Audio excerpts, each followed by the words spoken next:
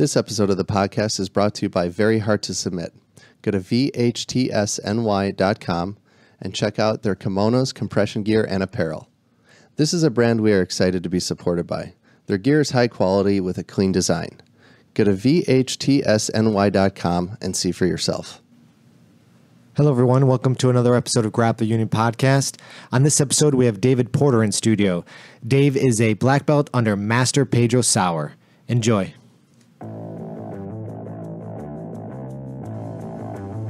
To six minutes. That's what happens in that six minutes. You told me using any technique that works. Never to limit myself to one style. Keep an open mind. We're not here to take part.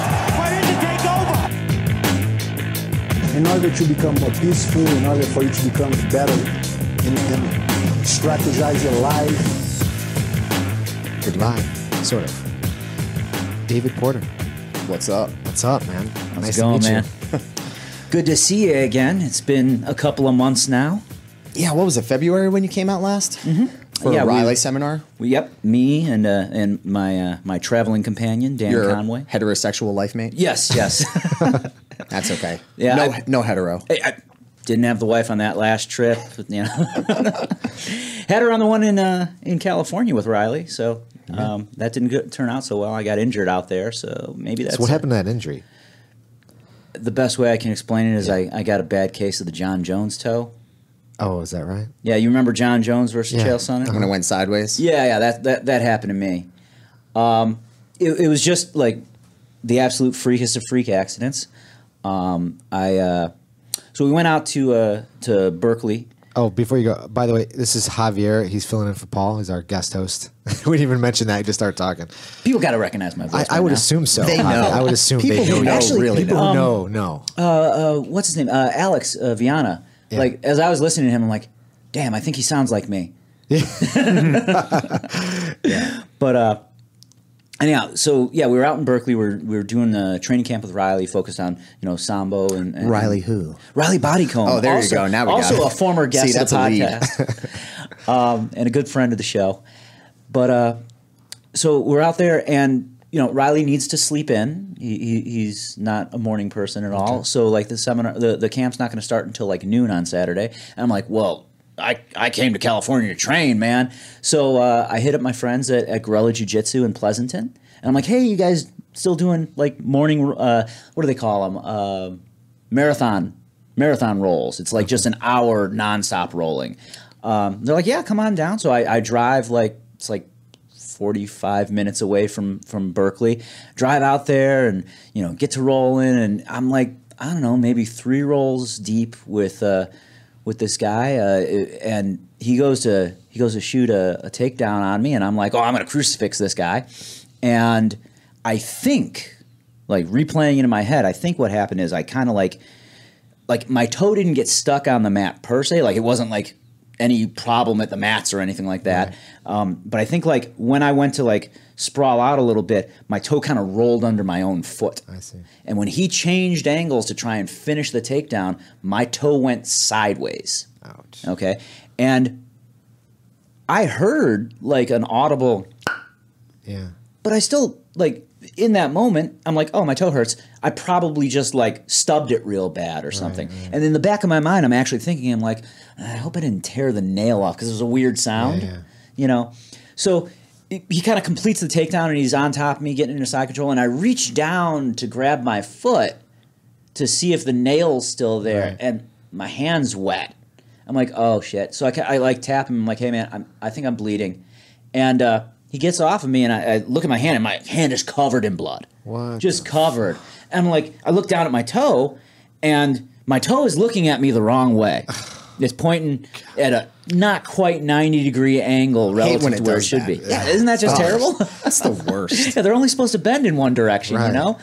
Uh, so yeah, it, it had it had broken on, uh, or not. Sorry, it had dislocated at the at that first joint there, the the the, the distal joint. Which toe was it? It's my big toe on my on my right foot. Um, and in the process of doing so, it had just like popped open halfway around, right at the joint. Wow. Yeah. So, uh, so I'm like, oh, oh shit, I'm hurt. You know, sorry guys, I'm, you know, and I'm like, the guys scramble. They go get me some ice. They get me some paper towels and whatnot. Um, start calling an ambulance before realizing that like the hospital is less than two blocks away, and they'll just take me over. Right, right. Um, so they help me into the car. We go to the ER and whatnot. And I guess I, I didn't realize this. I, I would love to just like claim that I'm like totally calm and savvy in the moment, but uh, by pure accident of wrapping paper towels around it and like applying pressure so I don't bleed all over the place, I relocated it. So it went from being like not quite 90 degrees to back to roughly straight, just with, you know, just an exploded edge around it. I got some grody pictures that are not safe for the internet, but Okay. Prove it. after the podcast, sir. Those are uh, th- th- those are for the. Patreon special. Uh, th- those guests that give us money, they, they get the extra bonus content, right? but uh, anyhow, so yeah, spent a whole bunch of time at the ER. Like hit up Reilly, like, hey man, I I might not make it in time. Can you might pick- not. yeah, can you can you pick up Conway? He's like, dude, we're not starting till noon. I'm sure you'll be out of the ER in no time.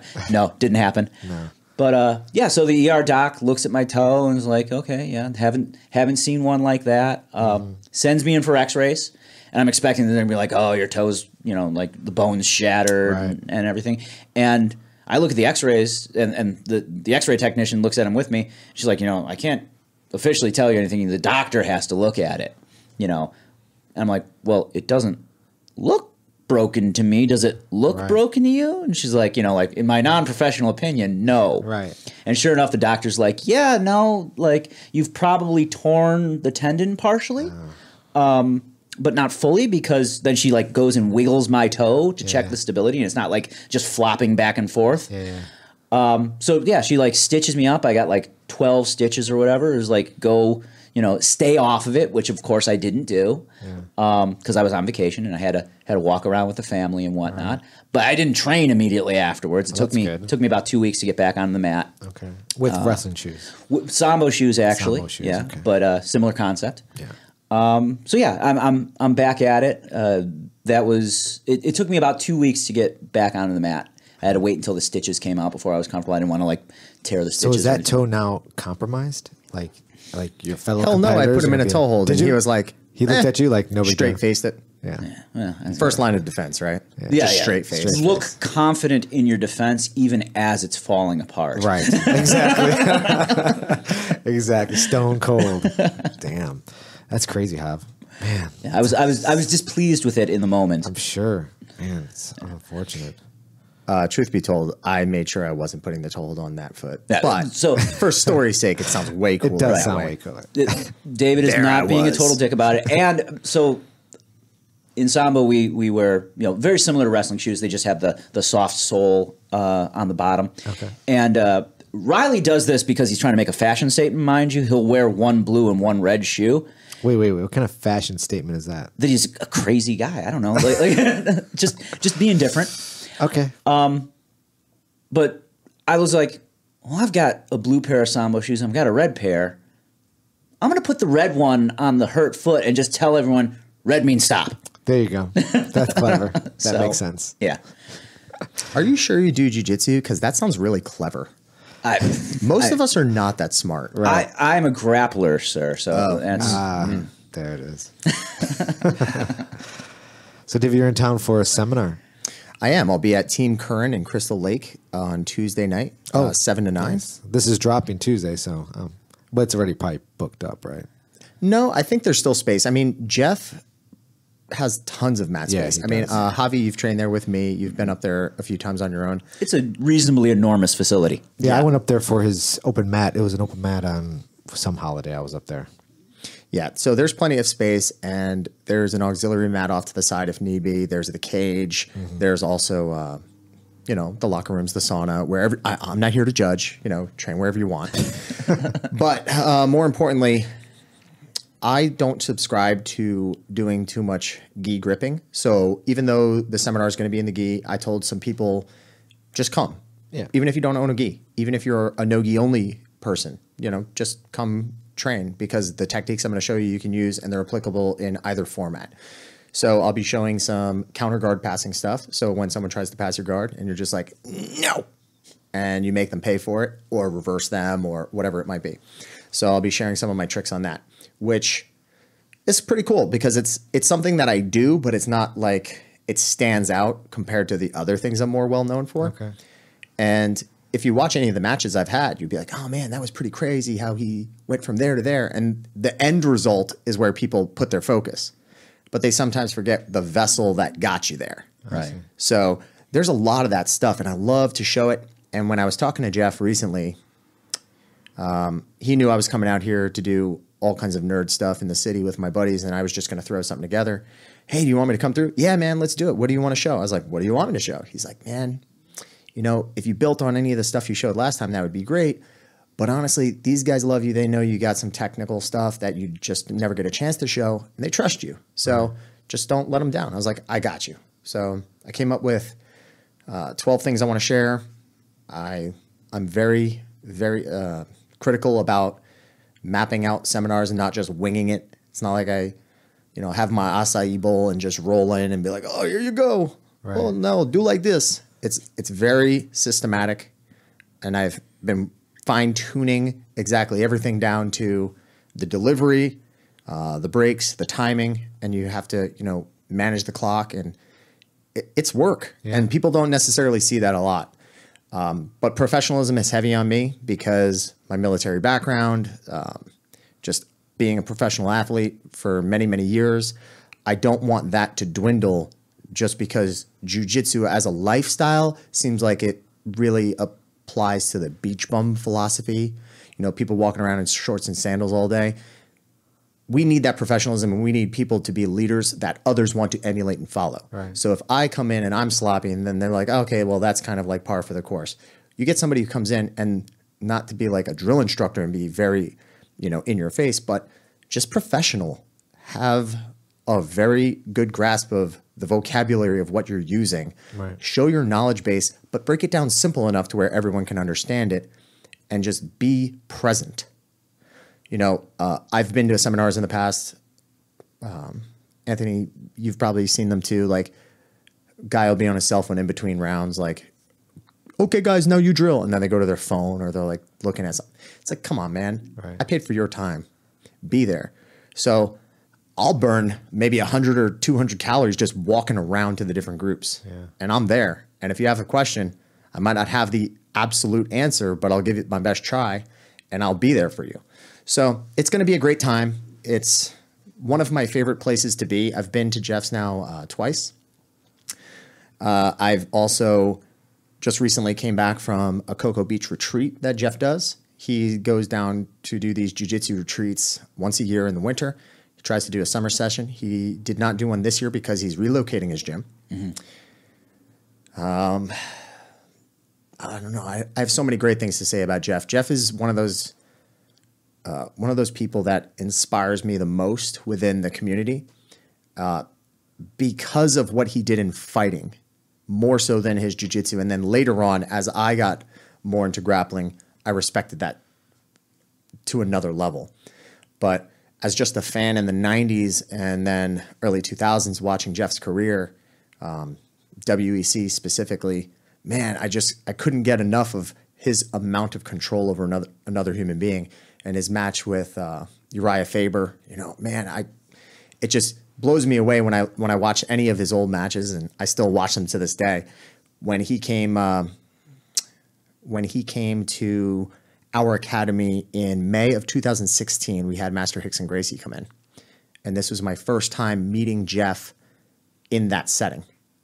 But Jeff doesn't remember that in 2007 we were in Atlantic City and if you guys may remember, tap out the series when uh, you know skyscraper punk ass and all those guys with tap out crew, they did a reality show for fighters, and uh, it was on Spike TV or Versus or one of one of them.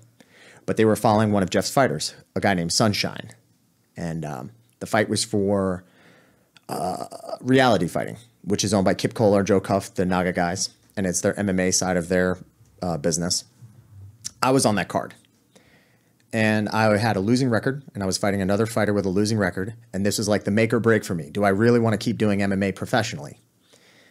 And I remember going to the weigh-ins and seeing Jeff Curran and being like fanboy status, like, "Oh my god, it's Jeff Curran, Big Frog, what's up?" Like I didn't com- I didn't go up to him like that, but that's all what's going in my head.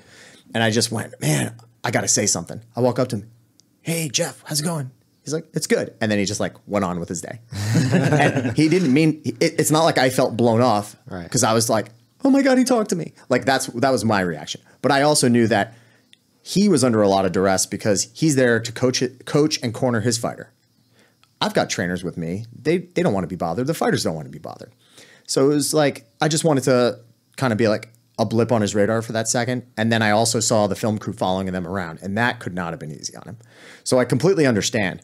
But then training backstage and um, you know seeing him work some pads with Sunshine and seeing him do some other stuff, and I was like, man, this is a great experience. This is what I thought my professional MMA career was going to be. Like I'd be surrounded by the guys that I idolized, and I would be be at that level and be immersed in that lifestyle. And then, you know, I go out. Um, I think everybody, I never got to see the scorecard, but I'm pretty sure I won the first round handedly. You know, I, I landed a head kick that split my opponent's jaw, like, like from uh, cheek to chin, because he was open mouthed from a, me breaking his nose, and then I head kicked him right on the jaw, and his teeth he uh, cut through his cheek because he only wore like a top row mouth guard. Yeah. Right. So the bottom row was exposed. So now he's bleeding everywhere. And then as fast as I'm throwing out my jab and pulling it back, the blood is on my glove, then spraying off of my glove over my shoulder, giving me these crazy like bloody tiger stripes. And I- I mean, I took him down with a double leg, pounded him out, and I was like, "Sweet, round one, in the bag." Come out round two, and I just get tossed on my butt from a clinch because I'm a little arrogant, and he pounds me a few bit, a little bit in the face. The ref stops the match, and I'm like, "Did that just happen?" Wow. And I'm like, man, I look so bad in front of Jeff Curran.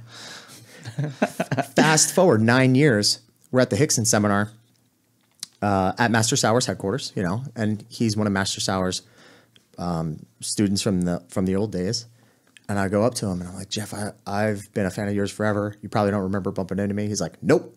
I was like, Oh, thank God. And once again, like, it's not, I never got annoyed by that. I was like, Oh, thank God he forgot. Like, I got my ass kicked that night. But you know, we ended up training that night, and what was crazy was um, Master Sauer is really humble about himself, but loves to talk highly of his students. Okay.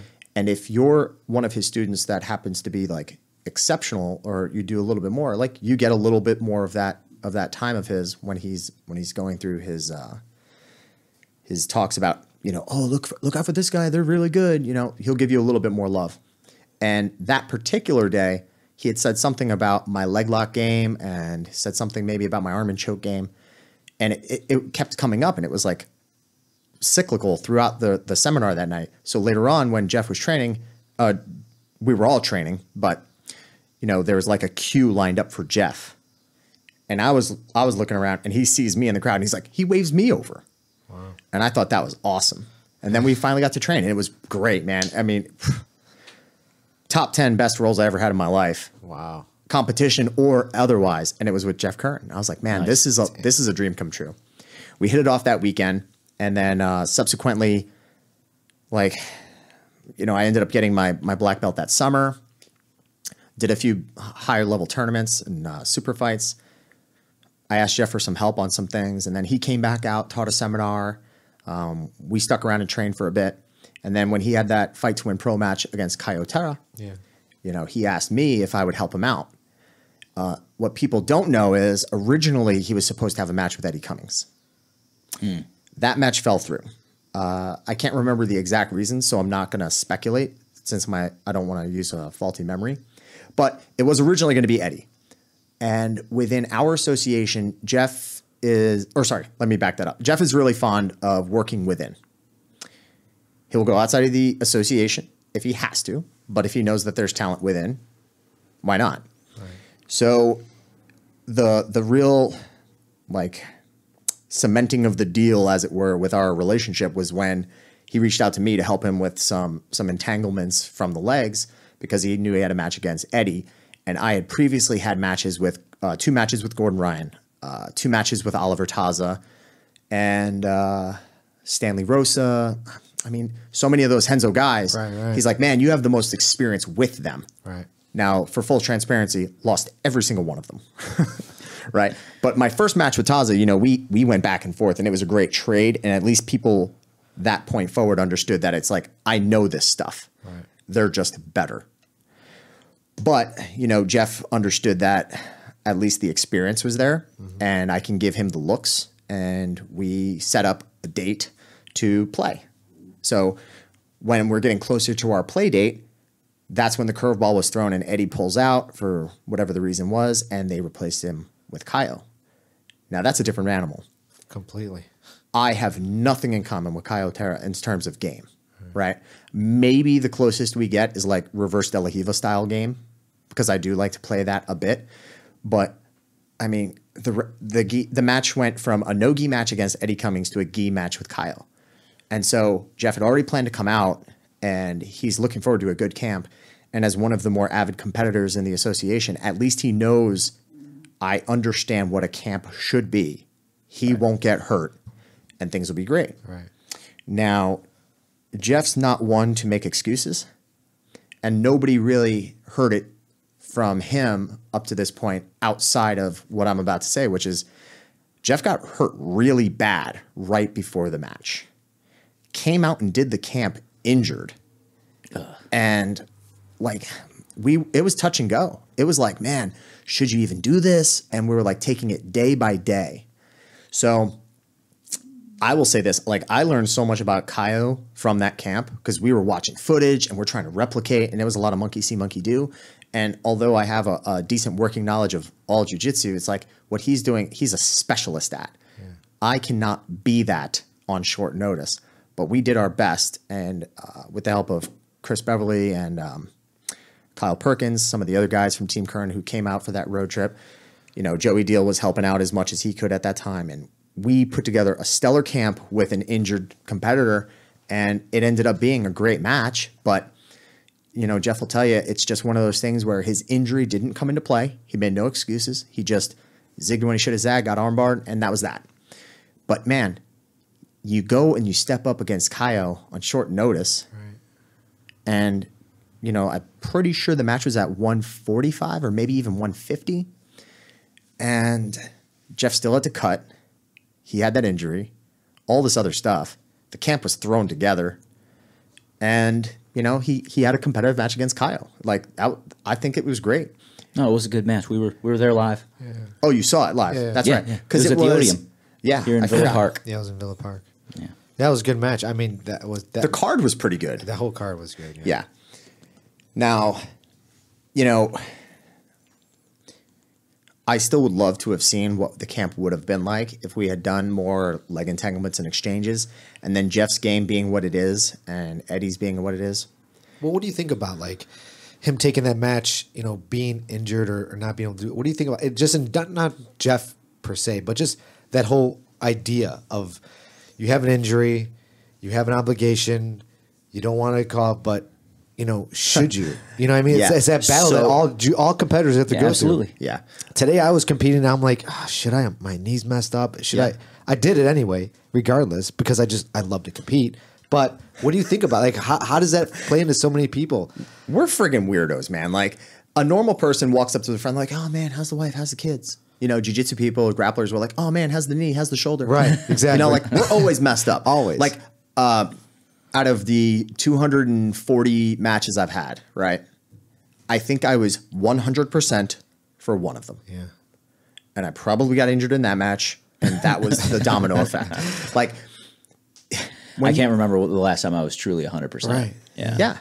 And that's the thing, you know, you're in varying stages of disrepair because in order to train this art, you're in the meat grinder. Yeah. You're constantly being folded up. And if you are the best person in your academy and you're steamrolling everybody, you're not challenging yourself and you're not growing. And then how good are you? If I'm working with a white belt, blue belt, doesn't matter, I'll put them on my back. They're dangerous. A white belt on your back is dangerous. Right. Right. Like all of my weapons are facing the wrong way. I will get good training. You can positionally make it better for yourself, but the risk of injury goes up. Like you let yourself get put into a deep ankle lock with a blue belt. And you're like, hey, I know your ankle lock sucks and you'll probably never get there in a million years, but if I put myself in it, now I've made the training harder on myself and therefore I will grow. But now the risk of injury goes up. And if you're not in that pocket every every time you're training, that's not bad, but you know, you got to you got to at least get in there to know what it's like so that when it happens you're not freaking out. But because of that, the wear and tear builds up. You go in, it's like, man, if you're 90%, you're competition ready. Right. And if you're sub 90%, well, hope and bubblegum will go a long way, right? you're just held together with hope and bubblegum. You're going to do it. My first match with Oliver Taza, I go in with a knee brace on with a leg that had been uh, uh, recently bowed out from a bad takedown. I took the match on eight days' notice, and there was no way I was saying no to it. And that was my most competitive match with him. Wow. And it's just like your focus, your focus will help your resolve, and it'll sharpen your moves, and you'll go in there and you'll do great. Um, the more skilled person will typically win if if they get to their spots, and you know he did, and it was it was excellent execution. When we grappled again in uh, like six seven months later at the Jiu Jitsu Kumite, when I first met Javier face to face, you know that day I kind of steamrolled my bracket, and then I had what is arguably one of my hardest fought matches to date, which was against Elliot Elliot Hill. Who was a fellow our dojo teammate. Yeah, and I was on the cusp of joining the team prior to that, and we Reilly and I had been in talks, and then it just so happened that Elliot and I. Uh, let me back up for a second. There were four four man brackets, or four man pods, and the way it worked was every person within had a round robin against the other three. Okay. Best record moves on to a final four person pod. Got it. Winner of that wins all the monies and the glory. Hurrah. Well, uh, Taza destroys his bracket. There was one upset in another bracket where um, this guy, Hunter Colvin, who's out of uh, Triton. Yeah. Um, trains with James Partridge, Pete Wilhelm, that, that crew, you know, he he beat Chase Hanna, and that was like I, I didn't necessarily see that coming. I thought I thought Chase had him, and I thought Chase was going to move on to the next one, but uh, this guy moves on. Taza steamrolls his one, and then Elliot goes through his, and Elliot had a killer match against Jams. Right? I mean, just one of the coolest matches I had seen that day. Not, not- I mean, just like period from either division. Like that match was killer. And I'm like, crap, I got to go up against this guy. And that was my first match. And I took everything super seriously. And eventually, like the, the final leg entanglement came down to who gave the less fucks. He had me, I had him, and whoever just went through it the deepest, like that person would win.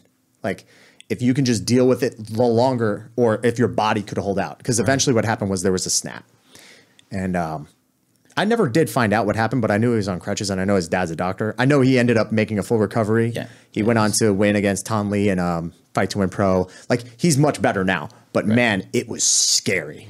It, it was a hellacious, like like Like wet celery, celery like- Oh, cracking yeah, yeah, type. yeah, Yeah, yeah. Oh, heel wet hook or Velcro-y. Heel hook, yep. Yeah.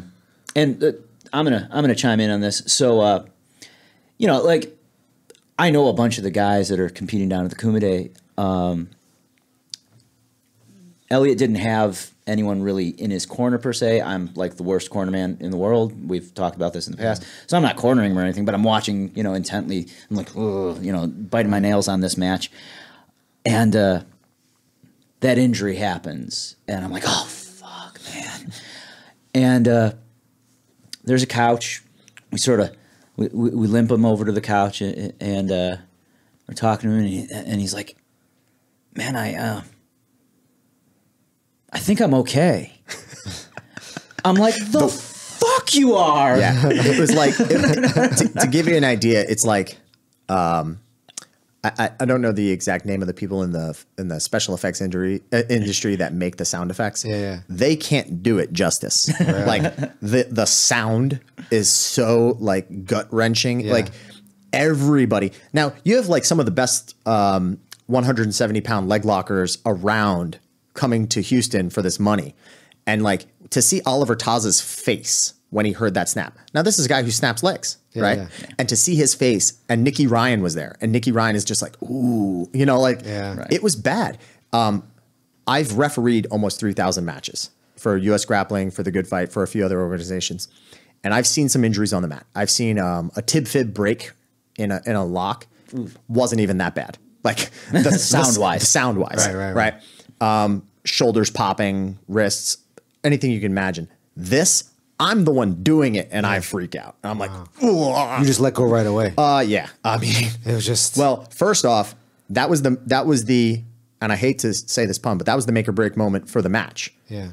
He had me, I had him, and it was a matter of, like I said, dual heel hooks on. Is that what uh, was going kind on? of. What was like, the position? he- I, I knew that as I turned the corner, he was going to make his perfect catch. I see. So I need to go through faster, deeper. Okay. Otherwise, I'm done. Because the way I was, the way I was sitting, um, inside over under triangled, and as I turned the corner, he had sat over my foot, and now my foot was going to be right in that pocket. I was like, uh oh, and he's better at it than I am. So don't let the person better than you at the position get there and then race. Right, right, right. If anything, I need that head start. Yeah. So when when I turned the corner, I was like, "Here goes nothing," and it was that hail mary. And then when it went, man, like I didn't move. I was like paralytic with fear because I just crippled a dude. Is what I'm thinking in my head. Yeah, yeah. Nothing good will come of that. That's not something where you're like, "No, just walk it off. I'm good." yeah, I know. And then because that MFer wants to come back and finish the four person bracket, I'm like, dude, Taza Taza beat Hunter, I beat him. Unless I beat Taza, he beats Hunter. Like, and then we force like a three way where it's like, Right. okay, now we all have the same number of losses or wins. Like, or sorry, if I go on and beat Taza, I win point blank. Right. And then if Taza beats me, like he'll probably go on and win. Like that that was the dynamic. So there's really nothing worth him coming back on the mat for. And he still wanted to. Right. No, I, I, I'm I'm with Elliot and uh, his dad's there as well, mind you, and uh, I'm like, you know, I'm you're a grown ass man. You know, you, you you make your decisions, but I'm like, listen, man, you don't really have a shot at winning the money right now. Like, if everything lines up perfectly, maybe it could happen. So if you do this, you're just doing this for like the glory of it, for the cool story to tell, you know, a couple of years from now about how, you know, you got your leg practically broken and whatnot. And I'm like, and I, I've realized as I'm telling him this, I've said the wrong thing. Cause he's like, oh man, it would be a cool story. Oh, he doesn't say this out loud, but His eyes light up. and and his dad's like, I don't think you should do this. Well, as we're trying to talk him out of this, and he's trying to like hype himself up that no, no, I can do this. Dad's phone rings. Picks it up. Hands it to Elliot. It's your mother. She was lo- watching Damn. live on Facebook. Trump card. Oh shit! Yeah, she heard that. Wow. Damn you, Facebook Live. Yeah, yeah. So that is why Elliot Hill did not go back into that match. Wow. Because Thanks, Mom. Yeah. Yeah. th- thank you from all of us. So what was We the did- yeah. what? What did it end up? What was the? I don't know to Oh, this day. Uh, Okay. And and that's the thing. Like no animosity. Like I don't I don't dislike him. In fact, I follow him crazy like crazy now. But um, we're we're just not we're just not cool on that level. And uh, when I did see Reilly back in February, the topic came up, and he's like, "No, it's good." And that was about as far as it went before we like started firing Nerf guns at each other. Because um, that's Like how. Reilly that's how Reilly do. Okay.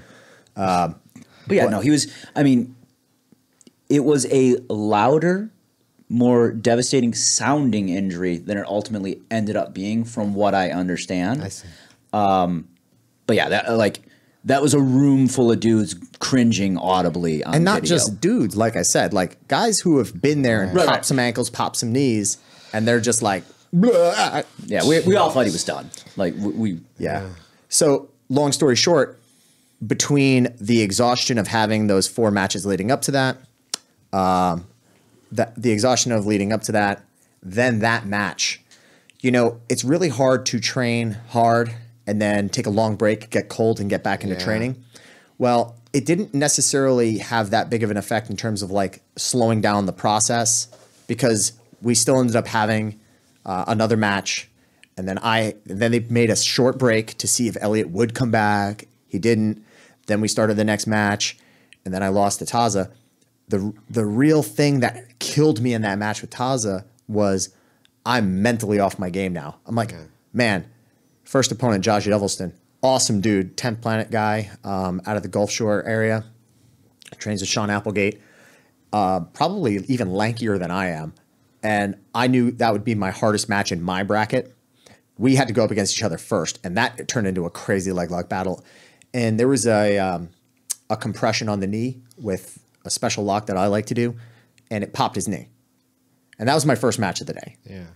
Then my next match, um, pardon me, but I don't remember my other two opponents' names in that bracket. Okay. They were um, they were last minute fill-ins, and to be perfectly fair, like the the other guy in that bracket was not um, so much an avid j- grappler so much as he was like an amateur MMA fighter. I see. But Josh had beaten the one guy pretty easily with a heel hook, and so. Uh, oh no, sorry, I apologize. I'm only thinking about that other guy. He uh, ankle locked that guy, and then I ankle locked that guy, and then I had a match with, um, oh, man, another guy from Triton. Why can't I think? Um, who else? Man, it's gonna kill me that I can't remember his name. Great kid, but um, definitely undersized I, for the I can bracket. see him in. Yeah, I can see him in my mind. blonde hair. God, it's gonna kill me. Yeah. Um, I, I didn't bring my phone in studio because that's rude. But uh, anyway, kid was definitely undersized for the bracket, and I just remember like I stepped on the scale the night before at 170, and then like that morning I was like, please God, let me still be 170. and then like I step on the scale, and they're like, awesome, I've got like five hours, and I probably was like 185 like five hours later because my body's like a wrung out sponge and it just absorbed everything. Yeah. And I'm looking at this guy like, man, I don't even think I'm big enough to be going up against Josh Yevelston. And then here's this kid, and he tried some like knee shield flippy kind of sweep, and I just like bore into it, and it popped his hip. Jesus. It's like, man, you're dealing with some big dudes, and you're trying to like do do this move, and it it hurt him. And I was like, man, two guys in a row, and then you know Josh popped the other guy's ankle, and then I like, you know, he loosened the jar, and then I did the rest, and then that guy hobbles off, and then Elliot. So now I'm mentally in like, man, four dudes are going to be going to some kind of aftercare following this, or at least having a date with Ben Gay. And now I got to go up against Taza, and I'm just mentally like, I'm done. I checked out. And he he gets me in like the loosest reverse triangle and i had had a shoulder injury that i was nursing. And it's like mentally if you're if you're in it and you're focused you're just like ah whatever.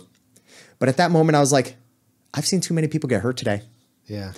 and so i feel a little bit of discomfort and i tapped. And he looks at me like did i just really win this money with that Right. like the move wasn't good enough in his mind. Like Taz is like, dude, and we went out to dinner afterwards, by Yeah. the way. Like all of us, uh, Javier can tell you, it was like Nicky Ryan, me, John Calestine, uh, Ethan Crelinsten, like a fucking murderer's row of people are, At this local Texas eating barbecue. elec- uh, are eating like Texas barbecue, like we're all best friends. Meanwhile, we just simulated murder in swimwear. Right. And, and for the record, several of us had basically just met that day. Yeah. It was Yeah. just yeah. But that's the community when it's at its core. Like even the top top guys shouldn't have animosity after the match. Sure. Of course.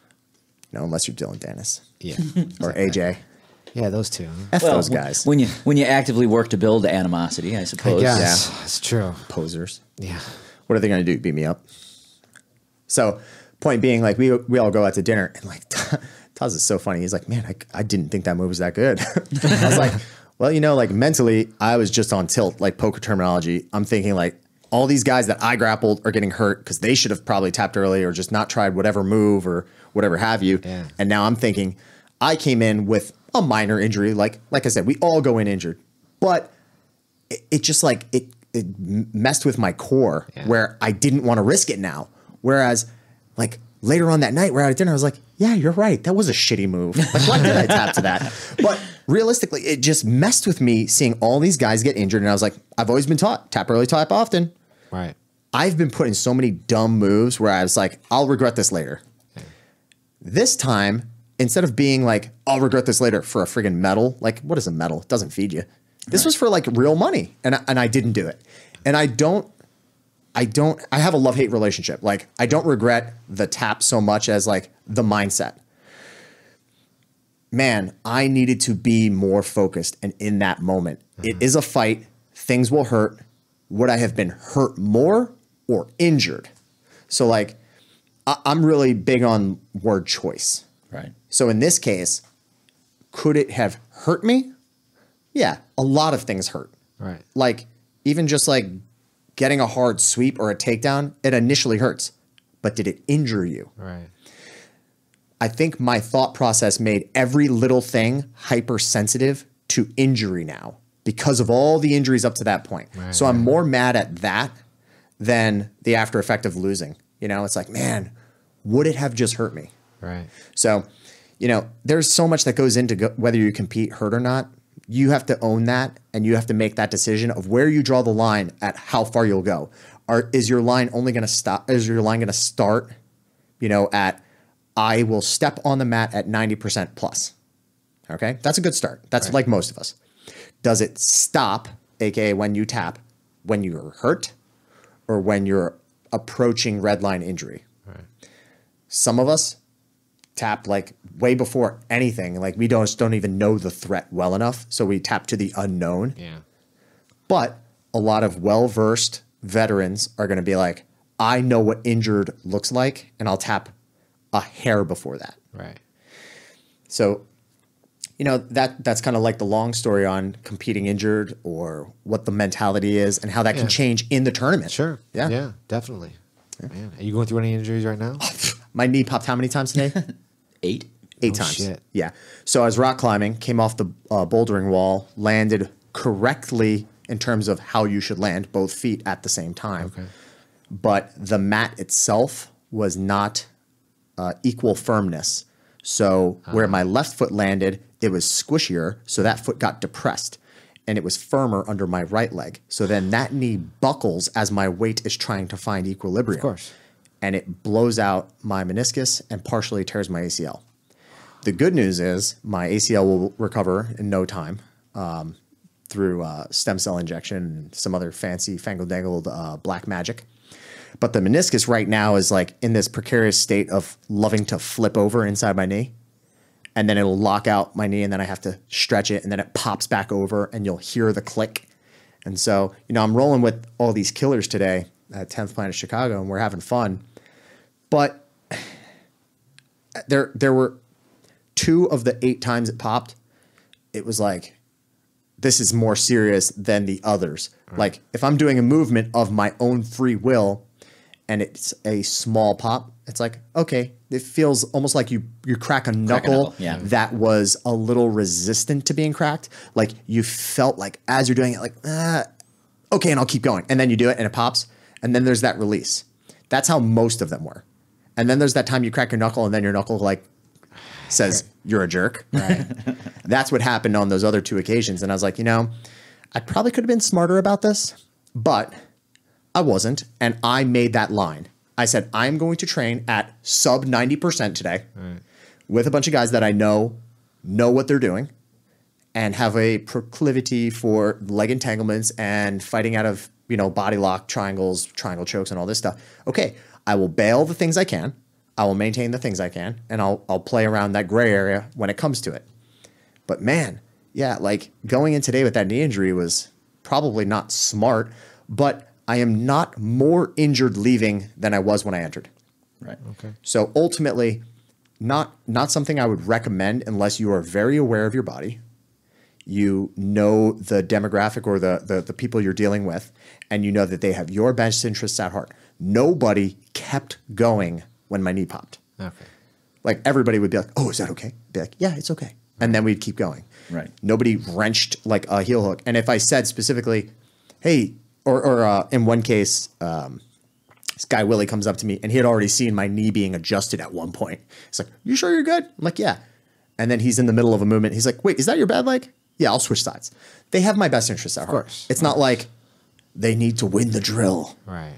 I, I walked in, I didn't see a podium, so I'm just guessing like nobody. We keep it downstairs. You keep it downstairs. oh shit.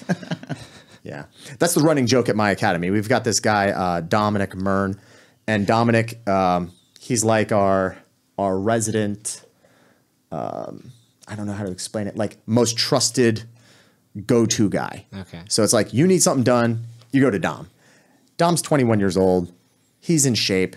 He can handle it. It's like move this, get that, take care of this, cover this class. Like he'll do it, and he's full of piss and vinegar. Well, because we know we can like lean on Dom for much, I keep saying, "Hey Dom, when are you going to build that podium?" And he's like, "I'm right on top of that." And you know, look with the same amount of vigor, I'm right on top of that. Well, now the, the that the joke's gone on long enough, I just look at Dom. I'm like, Dom, you didn't build the podium, did you? He's like, No. Guys, why are we still doing this? We know Dom didn't finish his, his job. you shouldn't be trying to win the drill. but you know, it, and it's funny too. I want to I want to say something. When you have a mixed room of people at any academy, uh-huh. and you have competitors in the mix, they can be looked at as the boogeyman. But ain't it a bitch that it's not those guys typically hurting people? It's the guys who don't compete that use that platform as their That- competition. yeah, that's that's where they get that aggression out. Ugh, I beat the guy. And it's like, hmm, where was the ref? Like, you know, and, and for the record, I'm just going to say, screw those guys. That's not what they're there for. Like, you, it's not, you shouldn't be competing with the guys in your academy. You should be competing with yourself. You should be better than you the day before. You should be the best you you can be. You should be hitting the moves you sucked at last week. But if it's like, man, I haven't I haven't beaten person X. Today, X is gonna get it. Right? Now all I can think of X going to give it to you. Sorry. No, I, I I was thinking the same thing. Damn it. I, I somehow blame Deadpool for bringing DMX back into my back into my mind. That was a good Deadpool though. The second one, I mean, They're both I love good. both of them. Listen, Yeah. it didn't suck. it didn't suck. And you know, say what you will, but I hope they don't mix Deadpool into the the, the MCU. I think he's doing just fine on his own. Yeah. I love all the all the little jabs at the split between the studios. Yeah. I love the jabs at the other movies that did suck. All right. Man, It's keep super it- clever. Keep it the way it is. yeah. So uh, we haven't had a chance to talk about this yet, but it's uh, it's important to me and probably I've most of loved the you lis- since the moment I met you. There you go. Oh wait, different thing. Okay, Different okay, thing, okay. but go ahead. thank you for the confirmation Go of what ahead. I already knew in my heart. You said it with your eyes. Yeah. so, how did you feel about the uh, the representation of your favorite X Men in film? Finally, after all these years. So, for those of you that don't know, I love cable, and this is kind of something that is going to give me so much judgment from the comic nerds everywhere. Um, mainly because if you like anything drawn by Rob Liefeld, you're like looked at as a poser. Um, if you don't know, every every mutant X Men spin-off person who had pouches, unnecessary pouches on their on their rigging, and uh, a glowing eye of some kind, you know, they're looked down on. It's it's just like I get it. The comics you grew up with are now different. So, ugh, change. But man, when I was reading comics, that was the era. And I loved Cable. I thought Cable was a badass. First off, he didn't look like a fit man in his prime. He was like battle hardened. He had gray hair and scars on his face. Yes, he was a massive human being by scale to other people, but you know, they're comics. When is anything to scale? Right. So the more I read his, the more I read into like his backstory and you know got to know that character, I was like, man, he's like the mutant messiah, but then had a bunch of shit happen to him, and has like these inhibitors on his powers. So if you don't know, like he has the genetic material available that gives him almost unlimited potential, but has a virus that is literally going to eat his body if he uses his powers for anything other than keeping those the, that virus at bay. So the metal arm is actually an organic compound that will slowly creep to his internal organs and then eventually kill him. And he is a telepath, uh, a telekinetic rather, moving things with his thought. He's a telekinetic of the highest order. That at the molecular level, he is using that power to physically push that virus away from his organs. And if he tries to use those powers, it creeps in further. So he is on a borrowed time every time he goes out and operates. And even in like the issue where he beats the Hulk, how many heroes have beaten the Hulk? Oh yeah, that's right, a handful. Cool. Just checking because in case any comic nerds out there want to pull my card, I'll be like, oh yeah, the Hulk. Yeah, fuck that guy. So, um, Cable is Cable is awesome, right? So hate him for his appearance, hate him for the era he came out, but man, like he's got a killer story and he's destined to take out Apocalypse, the first and arguably one of the more powerful mutants. And this guy like body jumps from body to body through through time, and they alluded to that in the terrible, terrible Apocalypse movie. But what people don't know is like Cable eventually has a family and has a son. And in Deadpool, they didn't really do it well, but whatever. Like he can have a daughter. I don't care. Like timelines or whatever in Marvel. But you know, in the comics, he had a son, Tyler. He was training him. He was so proud of him. Apocalypse takes his son, and then Body jumps into him. And now Cable eventually gets to that final battle with Apocalypse where he knows he will die. He will die when he has to fight Apocalypse. He's going to have to use all of his powers to kill this guy. But now it's in the body of his son. So now you have this like Richard Matheson esque showdown. And if you don't know Richard Matheson, well, you're wrong. but um, best suspense writer of the 20th century. Any good Twilight Zone episode written by Richard Matheson. So like everybody usually knows like Terror at 30,000 feet with the gremlin on the plane with Yeah. Shatner. Like that was written by Matheson. That was a good one. If you if you ever read the book I Am Legend, you know that it shits on all three movies that were made by the the the proxy of it. Like the Will Smith movie was terrible. Um, Omega Man with Charlton Heston was terrible. Last Man on Earth with Vincent Price was terrible. They've tried that book three times. They Right, all right. they Yet all to- bombed. yet to succeed. But the book is amazing. Um, what Dreams May Come, Stir of Echoes. You name a good thriller movie. Richard Matheson wrote the book. Nice. So in uh, in the original I Am Legend, the book, you know, his family dies and then they come back. And then the main character has to kill his wife and kid. Oh wow. And it's way more trippy in the book than in any of those shitty movies. So very similar, like, and that's why I say Richard Matheson esque. Cable has to kill his son vis-a-vis Apocalypse, and then ultimately dies in the battle. That will help usher in a more peaceful, non-apocalypse present future. So yeah, I fucking love Cable, and Josh Brolin nailed it. like, I don't think people understood like how good he was in that movie because all they're thinking is, "Hey, that's the voice of Thanos," and I'm like, That- that "Dude, was it's Brad from unfortunately- Goonies." yeah. Like, exactly. That's what I was thinking. That's because you're old. Yes. But Listen. so am I. when push came to shove, Brad got on that little girl's bike and pedaled his happy ass fucking downhill. did. He- Brad he went to did. work. Like He did. Brad got shit done. And you know what? Gotta say it. Cable got shit done. And Deadpool is hilarious. Cable had his like little two, three lines of funny, but for the most part, he progressed the story and he did cable shit. That's all I care about. Right. And he did it in such a way that made him kind of like the asshole, but endearing. And that's what we, as people who loved X Force, like, you know, the bad X Men who did like the dark ops, that's what we cared about. It's like, just get it done. right. And if anything, and especially if Reilly ever listens to this, like, I'll make sure he does. oh, please. I, I love the fact that they alluded to Shatterstar. Or not alluded, they actually had Yeah, him, right? they and they had some other characters, and then they fucking wiped them out in like vicious form. And it was so cool because uh, even even down to like Shatterstar having alien blood and it was purple and you Green, know- green. Uh, what was green? I think it was green. Well, it doesn't matter.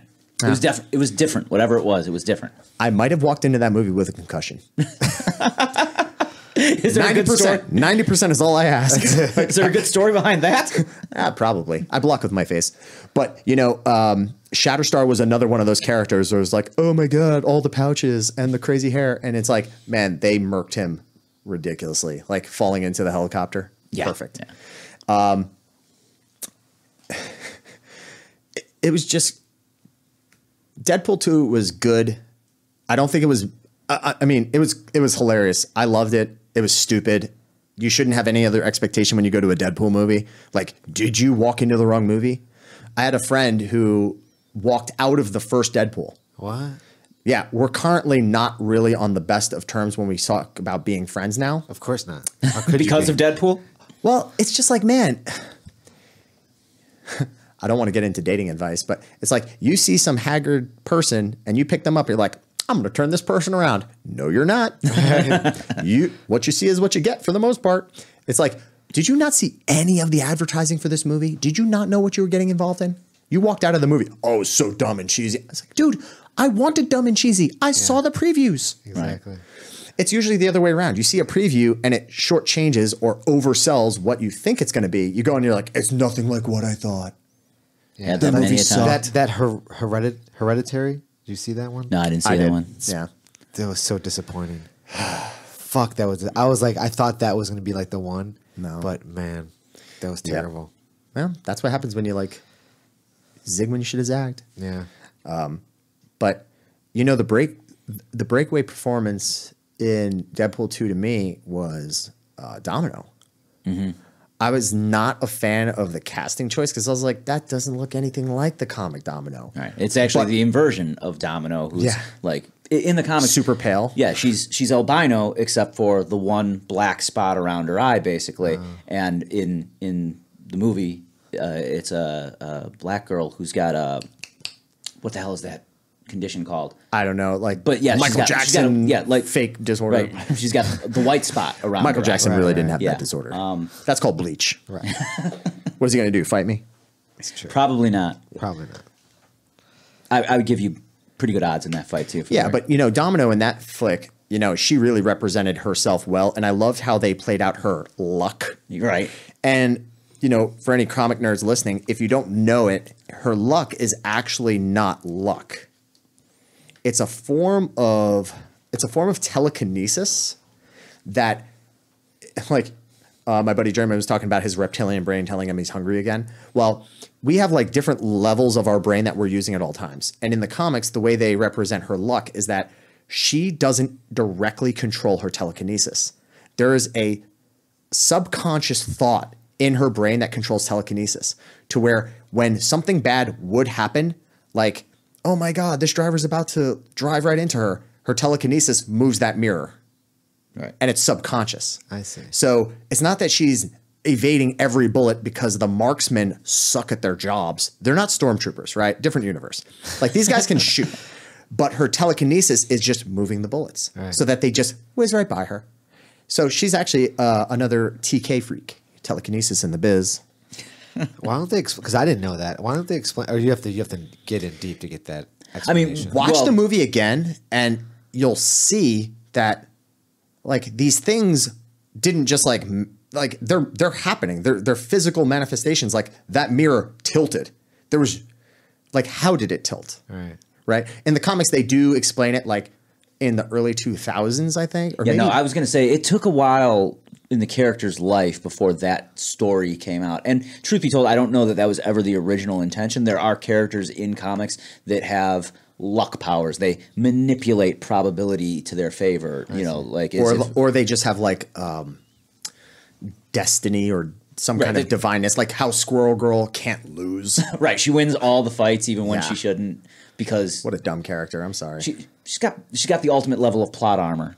Yeah. So, yeah. Sorry, we're we're going pretty deep on this, I guess. Like I think when I think of like dumb night, Ant Man and Wasp. What's up with that one? Is that part of the same? yeah, So that's it's in the well, MCU. That's Marvel universe, That's like Marvel, owned by Marvel, though. So Well, what is the deal with Ant? What I they they didn't make these people like Wasp is a real. Yeah, she's been around. Yeah, forever. She's been around. a she's actually time. one of the uh, the Avengers like founding starting lineup. of the Avengers. So what's comics. crazy is like the the MCU has to go by that title because they've deviated so far from the comics. But they do that because they knew that if they went with the original Avengers lineup with no setup, with with terrible delivery, you're going to hit a small target audience. And then the movies would have flopped. And I hate to say that, but you would put a lot of money into a pure excuse me, pure product that would not have done as well in broad in a broad uh, audience. kind of like the Justice League movie. Oh, shots fired. well, well, he ain't wrong, folks. But more importantly, um, I think whoever it was, and it wasn't like Kevin Feige or like anybody specifically, but you know, everyone involved from the process of Iron Man with Robert Downey Jr. forward. When when Iron Man came out, they're like, we, we got this. Yeah. And they knew, okay, one character at a time, and we'll use a marquee person who has branding potential in their own right. And then they did their, you know, guerrilla math. They bust out an abacus and they're figuring out their their numbers for who can hold their own weight. Trust me, Wasp wasn't on that list. Like, yes, for the purists, it would have been great to see an original lineup. And at the end of Civil War, they kind of showed a different lineup to the Avengers when there was the split with Cap, and you you have like, you know, Vision and Falcon and a few others that you know have held that mantle at different stages, but true to form, no, they didn't, and that's because whatever executives were doing the numbers said. Maybe there was like test groups, I don't know, but focus groups rather. But Wasp wouldn't have held that up. Now, introducing um, introducing Hank Pym was hard because you really can't sell the sciency type guy doing all this kick ass stuff anymore. They've failed miserably at that in the past, right? So, and I and I'm I'm talking like, you know, other franchises like Reed Richards. Reed mm-hmm. Richards does not do a great job in in film form as much as he does in comic book form. So even with Spider Man, you had to like dumb him down a bit, make him just a really smart kid. Well, what's um, with them changing? Like, what's up with that? Well, What? Like wait, he's, wait. he's what's up? older, he's younger, and then he's a totally different person. Like, they Well, they okay. understand they fucked up. Yeah, like, is like that what it is? Tobey Maguire should have never been Spider Man. that that franchise has been in flux for a number of years, but the, the most recent movies have brought like Sony is working with Marvel to create a single narrative. So that's why um, the most recent Spider-Man appearances have had Marvel's touch, the Marvel Studios touch, and it all ties back into the main Marvel universe. You got to understand um, when Marvel was uh, was struggling back in the day uh, they sold their film rights to a, a variety of their, their most iconic characters. Okay, so Spider Man ended up in the hands of Sony. The X Men ended up ended up in the hands of Fox. Um, uh, the Fantastic Four. All all these characters ended up in the hands of other studios. When they wanted to make films on their own and not rely on other studios to do it, they only had a small pool of characters, and those characters happened to be the, while arguably a list in the Marvel universe, popularity wise, the Avengers weren't actually that popular. People don't know at the time Right, right. don't know them the same way as people know the Fantastic Four, the X Men. Right. You know, um, so that's what they that's what they had left, and that's what they focused on.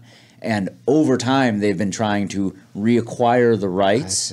Sony wasn't about to just sell that shit back to Disney Marvel, but they saw a fantastic opportunity to to make money by working with Marvel, and Marvel had the opportunity to tell the stories they wanted.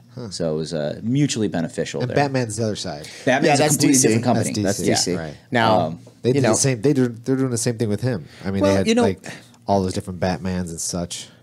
yeah, Well, it's also a large span of time that you're talking about at this point. Yeah, I guess. Yeah. there there's going to always be a situation where people grow out of comics as you have new readers coming into comics. And you can't just have like the Peter Parker that came out, you know, 60 some odd years ago would be an old man today if he aged in comics. So yes, you're going to have to do reboots. You're going to have to reshoot stories. Actors grow older in real time. So it makes sense in that respect.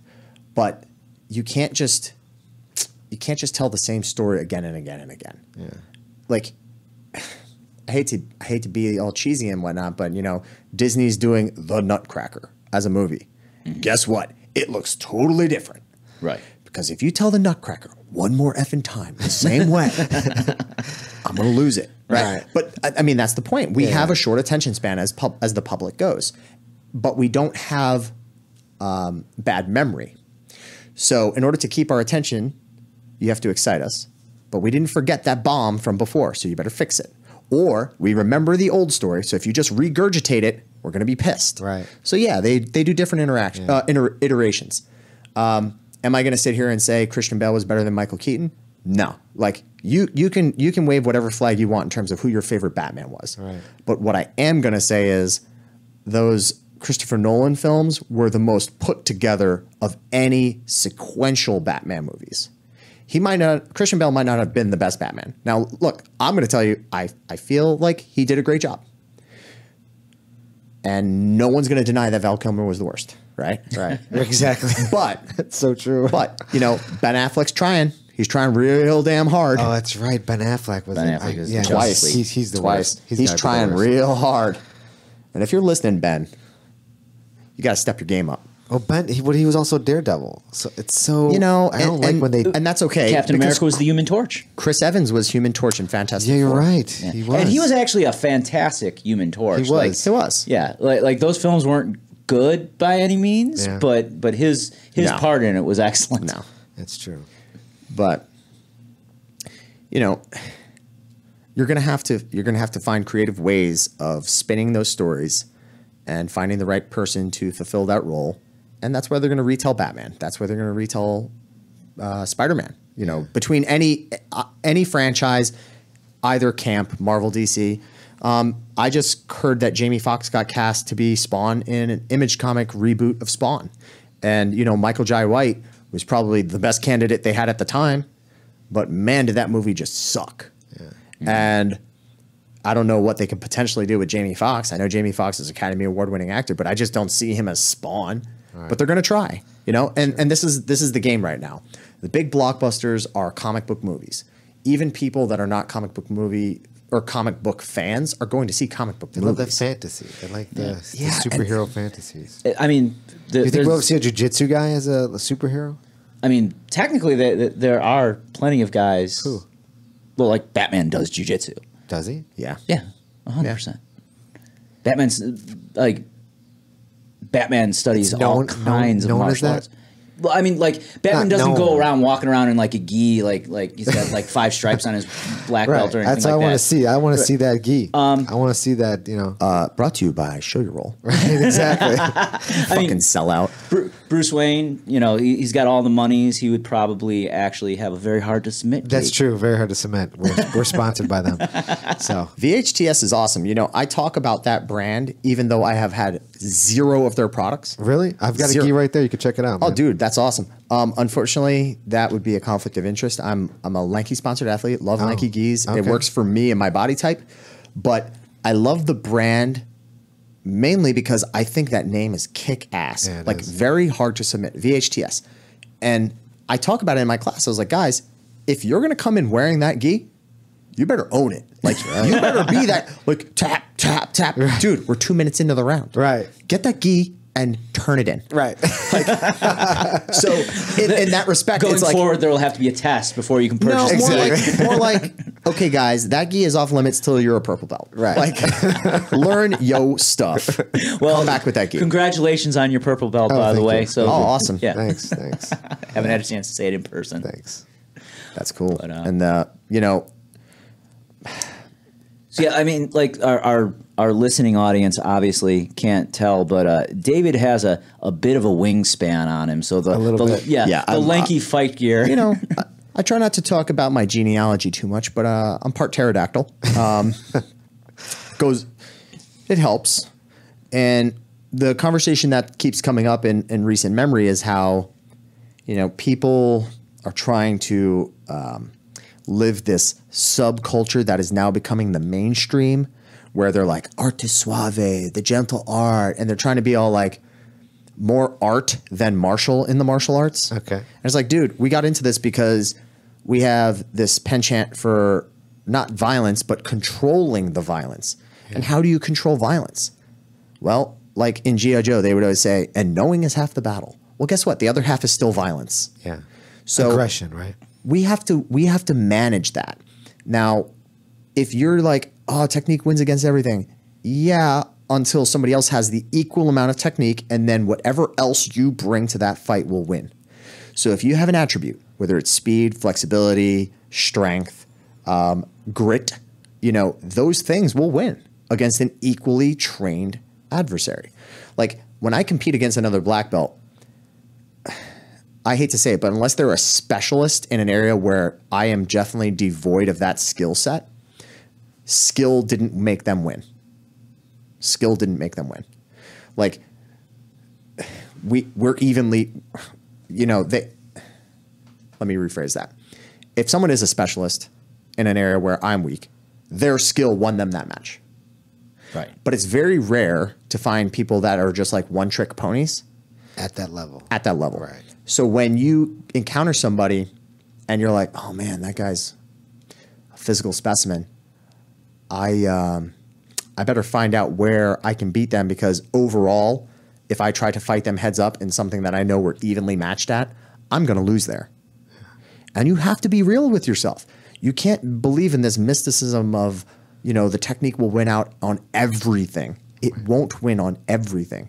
It will win where you can, where there's a skill disparity. And, you know, my professor, uh, Master Pedro Sauer, who is most famously known for his uh, Gracie Challenge fights, and arguably the most famous was the one that was filmed in that basement way back in the day against Mr. Utah. And that was a pure size versus skill scenario where if Pedro didn't have the skill, he would lose to the size. But the other guy had no skill. Right. Right?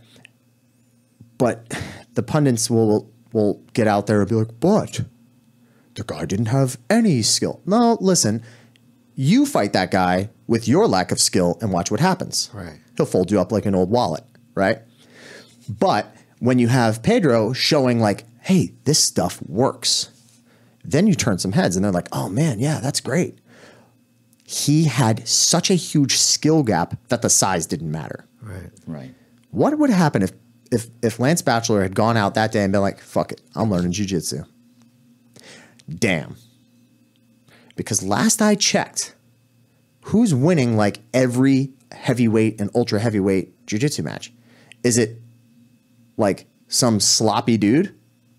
No, it's usually the guys that open up their gi and it looks like two turtle shells for pecs. like those are the guys. And I'm like, yeah, uh, Buchecha and Roger. You know, when they had their second match, a lot of people like, yeah, and old school jujitsu wins. You don't think Buchecha knows that Roger's going to do that stuff? And you don't think Hodger knows Buchecha's game? Like, if you think Buchecha just sits there and does like 1,000 cross chokes before he brushes his teeth, and then he goes home and he just hits a sit up sweep, and that's all he does, you are an idiot Right. If you don't think Buchecha has ever shut down a Berimbolo, if you don't think he's ever like like grip broke a worm guard, you're an idiot. The same way that if you don't think Buchecha went into that match taking Roger seriously, ah, old school, whatever, I got this. Man, one mistake ended that match. You have two guys at equal skill. One guy has maybe a little bit more skill in an area, and if that guy slips and he's not going into it correct, then guess what? He loses. Now, what was the attribute in that fight? It was the focus. Roger was way more focused. And Buchecha had a different attribute he was using, which was his size, right? His his muscularity, his his presence. But if you only rely on that attribute, you can also be using it as a crutch, right? Or hmm. sorry, let me rephrase that. If you use it as a crutch, it's bad. You can't just say this attribute will hold. No, it is the it is the kicker. So when the two of us go into it with our equal technique, that would be the thing that could win out. But if you're saying this is what I have and you're still not focusing on that technique, you lose because the other guy's attribute was his focus and he hit it better. So man, that was a classic match that usually puts people into like two very polarized camps. And then I'm sitting here on the side like, man, we got to analyze this. Sorry, Yeah. that's No, just it the way I work. It was a great match too. Yeah, for sure. But don't use it to fuel your argument. Like, right. There's so much more going on there. Don't just take the the victory or the result as this. Well, this wins for the old school guys. No, you don't think Roger knows like new school, quote unquote, new school jujitsu? Get the hell out of here. Go to go to England, train with the guy. I've got a guy at my uh, academy, Dan Bellows, who's a purple belt, who trained at Roger's for an entire month and a half. He came back and was just slaughtering people with these spinning omoplatas and knee bars. When have you seen Roger do that? Uh, never. Do you think he doesn't know how? Right. Tell me. Right. We yeah we we've got a we've got a gentleman who comes through Chicago pretty regularly who's who trains with Roger and you know like his game is not pure old school jujitsu. You know, he he knows he knows modern game. He he knows plenty of that stuff. And you know, in talking to him about it, that's what they work in the academy. It's not like it's unfamiliar territory. Even if somebody has a strong preference, like you still have to know how to fight against it. You're still facing it in competition. So your competitors, even if they weren't learning it in the academy initially, they're gonna face it, possibly run into some problems with it, and come back and be like, "I need an answer to this." Right. Yeah. You're gonna lose a lot of students if you don't have some kind of answer to provide them. Man, and I, and I love when my professor, Master Sauer, teaches a class and he's like, "Okay, guys, so this guy tries a Berimbolo. We're gonna shut it down." And people like, "Did he say the B word?" it's like, guys, I know that we got Helio Gracie on the wall. Trust me, I got a tattoo of the guy on my back. I love what Helio Gracie did for the sport, but he knew it wasn't finished. Is the Model T what we drive today? No. No. Innovations happen, right? So, uh, my buddy German and I, we were when we were talking about this on the road trip. I I equated jujitsu in a cross section, like as you look at the history of it, to a relay race with batons, right? Like one runner runs their leg of the sprint, and then they pass it off to another runner. But when they do that trade, you can't come to a dead stop right where that other person is, and then be like, "Here, there's got to be an overlap where the prior leg, which is the prior generation, runs into and up with the next leg, the next generation, and passes it off. And they're going to coexist at that same speed for a little while to make the cleanest trade possible. Now, the difference here is there are conflicts because there are opposing teams and everybody runs at different speeds and we're all trying to win this race. So, why are the Danaher guys doing so well? They had an even trade. Like they they traded that baton off so like precisely. Like Renzo. Was Renzo known for his killer leg locks? No. No, not at all. And then where did Danaher come from with his no competitions and just start teaching these leg locks? They found that it was better for them to run their race in their individual sections the best they could, but where they are beating everyone else is in how they have transferred that that force, that forward momentum into the next generation, into the next generation. Why do you think Nicky Ryan is going to be a freaking killer? So if you use that analogy, you'll see where some people are stumbling. Where some of these people that are like pro old school now have students that have the interwebs and all these magazines and all this material, and they're looking and they're like, why aren't we doing this? And they're like, ah, pfft, you don't need that. And now you're going to have a bad pass of that baton, and there's going to be a gap. And now these people are going to struggle and they're not going to win the race. They're going to go to a competition. They're going to deal with somebody who's from a school that did have that really great transition into that next wave, and they're going to lose to that. And that person's going to be bitter and they're going to vilify their instructors and possibly jump ship. Now, I don't necessarily think that there are tons of Creonte guys like running around like doing all this stuff to get rank anymore. I think it's more people leaving their schools because they realize that the school's not doing them the service that they're paying for. And we have to remember, as as academy owners or instructors, we're we're still a customer service industry. We're selling a good. The good is this martial arts. And if ours is not better than the competitions, then why are they going to buy from us? Right. Right. That's it. It's very simple when you break it down. But to change the mind of a lot of old school guys, you're better off, you know, drawing blood from a stone. What I love about Master Sauer, he's like, no, you guys got this. And he'll try some new stuff and he he he appreciates the talent within that are advancing the art. And he forces a very simple thing at at his um, association wide level. If you're testing for your black belt, you need to know the self defense. Did I say you only need to know the self defense? No. No. He just enforces that you have to know Helio Gracie's master text. He knows I do D'Arce chokes. He knows I do ankle locks. He knows I do all this stuff that is not even covered in that book. Nowhere in those 200 plus pages does it ever cover an Armin Bravo style anaconda or Bravo's type choke, right? That's it. He doesn't doesn't cover it. He loves that I do that move. and he loves that I teach it and I share it to the next generation. And there's so much to be said about someone who has that open mind and is willing to go there.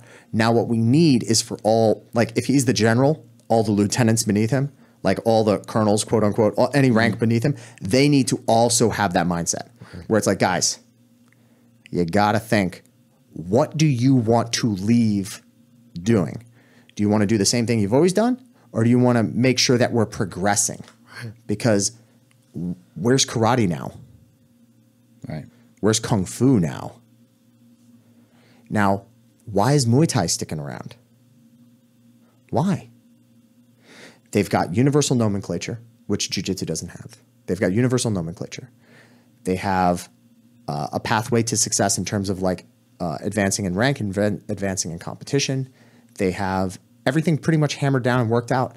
And they know that as the fighting game gets a little bit more complicated, you adjust to the rule sets.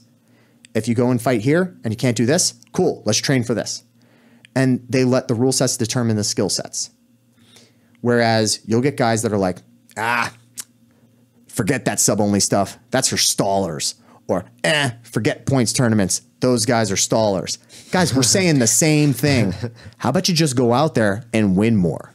Like, stop sucking. You need, you know what your defense needs? More offense. Yeah, Zito. Yeah, right. Sorry, I just needed to shamelessly plug Cobra Kai. Damn, that show was good. Wasn't it good? Oh man, fuck, that was good. It, it was a real life biography, or uh, it was like a, a behind the scenes documentary on what it is to be a, a gym owner. It really is. You're right.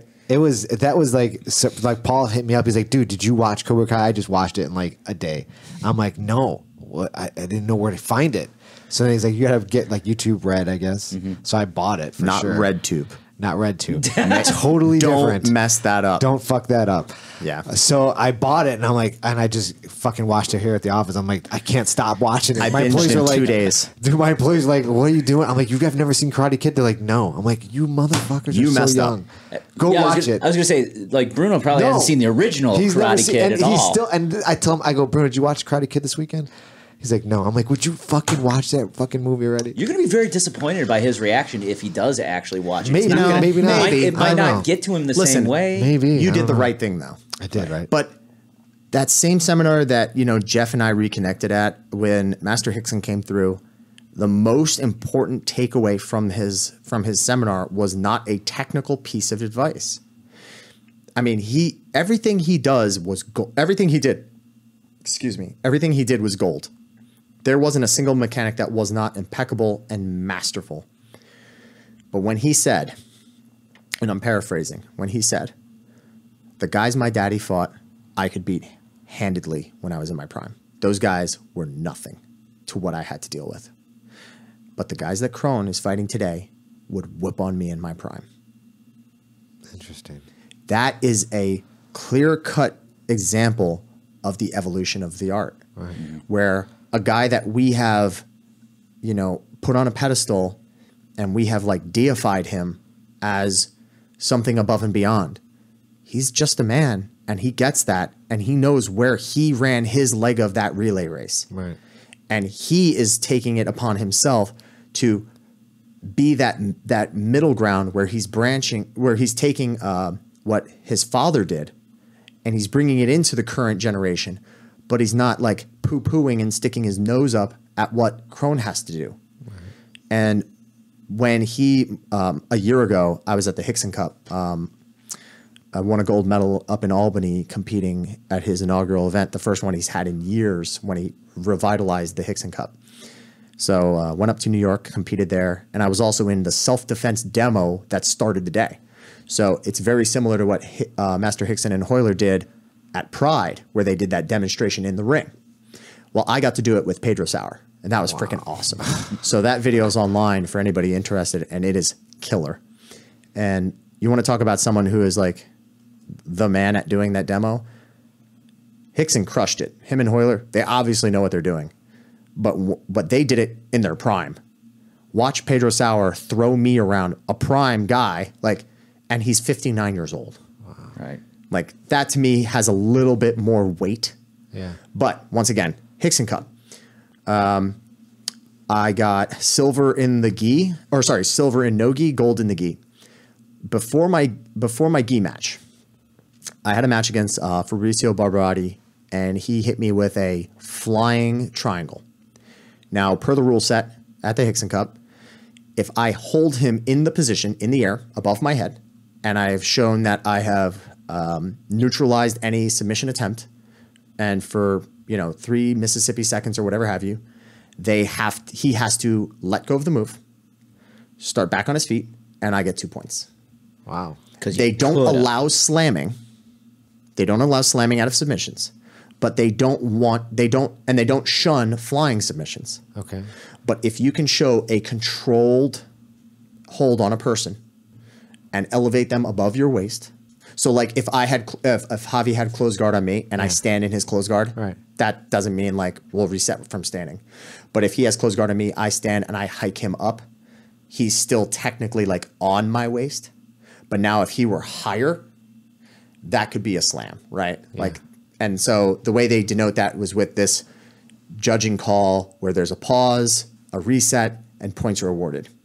So I'm in this match with uh, Fabrizio, and I hope I'm not butchering his name. The guy's Brazilian, Fabrizio Barbarati. He sounds like he should be an Italian opera singer, but um, Fabrizio perfectly timed this flying triangle.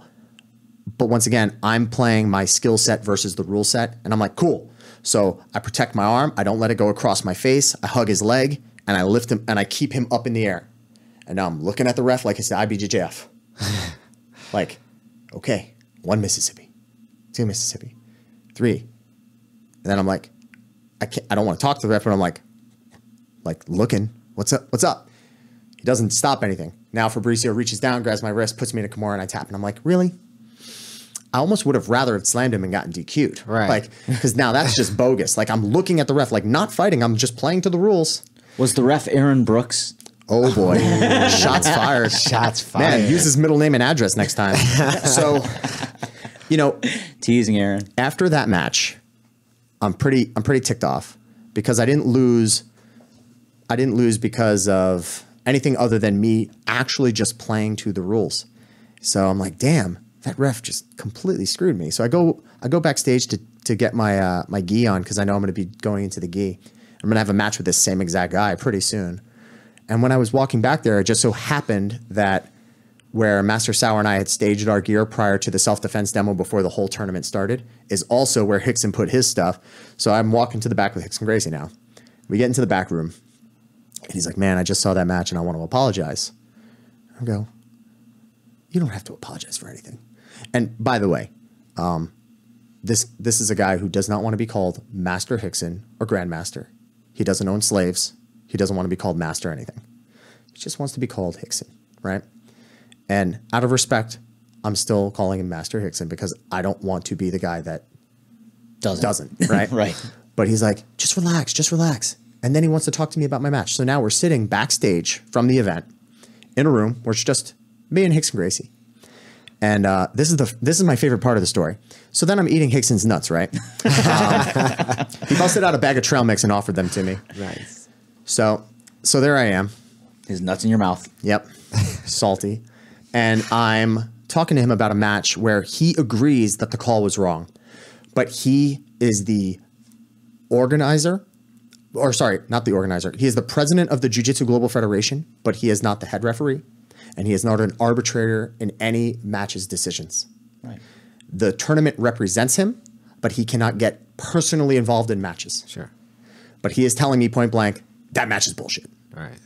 And so, without saying those exact words, he he starts to give me some advice, and then I start to talk to him about you know a few things. And next thing you know, I'm having this beautiful like 30, 40 minute long conversation with Rickson Gracie, just like in a room, like a man, just chilling off to the side. Um, in it, we had mentioned how an unnamed student of his who loves to do hidden jujitsu um, uh, ripped one of my moves and sold it as his own. And then Rickson was like, "Yeah, I never taught him that, but you know that's how this guy wants to market it. That's cool." Um, same guy who never returns my messages and whatever else. That's cool. That's fine. You know, they say, uh, you know, the the game gets harder as you get closer to the act boss. You know, you're, you know you're making it towards the end. Yeah. Well, quick aside inside a story. Uh, I have some signature T-shirts that Lanky Fight Gear produced that were like the mongoose fighting the cobra, Right, Dave Porter, Lanky Fight Gear. Um, one of my students comes up to me Thursday night, and he's like, "Dude, I haven't seen you forever." I was like, "Oh yeah, how you been? Cool." Hey, you'll never guess the craziest thing happened. I went to a thrift store the other day. I found two of your signature shirts, two for five dollars. Ah. and instead of getting mad, I was stoked because first off, it's great to have fans, but it's greater to have haters because that means it's like a it's you've broken through that ceiling and now you're in a different level Different of level, yeah. success. Right. Where even the guys that once liked you are like, man, that Dave Porter guy, eh, I'm I'm gonna show him. I'm gonna put these shirts into the thrift store. Well, first off, you already gave me your money. You bought the shirt. So you're lost already. If, if you're now like the turncoat, you're like now rooting for LeBron James somewhere else. Great, cool. Root, root for whoever you want. You already gave up the shirts. But now you're helping that thrift store because thrift store because they're going to sell them and make their money. And now somebody who couldn't get the sold out shirt anywhere else for the exorbitant amount of money it was worth because it's Meerkatsu artwork, mm-hmm. now got it for five bucks, two for five. awesome. Dude, you did so much good, and you thought you were like, I'm going to show him, and that that is awesome. Alternately, somebody could have just broken up with their girlfriend and they're like, fuck all his clothes. Listen, don't you ruin my story, Javi. I'm sorry. I'll keep my possible reality out of it. Yeah, I I know the narrative. I know it. It's just it's in me. I get it. But you know, going back to the conversation with Rickson, we're, we're talking, and I'm like, man, you know, it's crazy that uh, it- it's so, it's so simple in this art. We just have to, you know, work hard, go on the mats, and hope that nobody screws us. And if we put in hard work on a mechanic that we know we developed and we pushed further, all we ever hope for is that somebody uses it somewhere. And that if anything, they give credit where credit's due. Or better yet, not take credit for somebody else's work. Right. Right. So, you know, for the longest time, I harbored so much ill will towards said unnamed hidden jujitsu guy for uh, for stealing this mechanic and like saying, and I learned this from Rickson. But then when I'm backstage with Master Rickson and I'm on the ground now doing this mechanic, and he's like, "Oh, this is phenomenal." I'm like, Wow. "You never showed this to him?" He's like, "No, I don't know this." And I'm like, "Vindication." you know, like that's all I cared about. And then you know, it's like, man, that night I went to sleep happy. Oh, sorry. By the way, I went back out to that Barbarotti guy and I broke his foot. But anyway, He should have known your defense. Well, you know, maybe if he was subscribed to a certain invisible, oh no, no, no, sorry, hidden jujitsu, um, maybe he would have known. But the the real joke is on that Barbarotti guy. You know, he won on a technicality, and then I won uh, the real the real fight. You know, right. it's like you go out, you you might have got a submission on a guy who's like trying to fight within the confines of the rules, and now all you've done is piss off the lion. And I went out there, I put him in a toe hold, and uh, man, like it, it was like if I can if I could figure it out, if I can uh, describe it well enough to any listeners, it would be similar to pouring a bowl of Rice Krispies, saying ah screw the milk, and you just reach in with your hand and just grab all the Rice Krispies and crush it.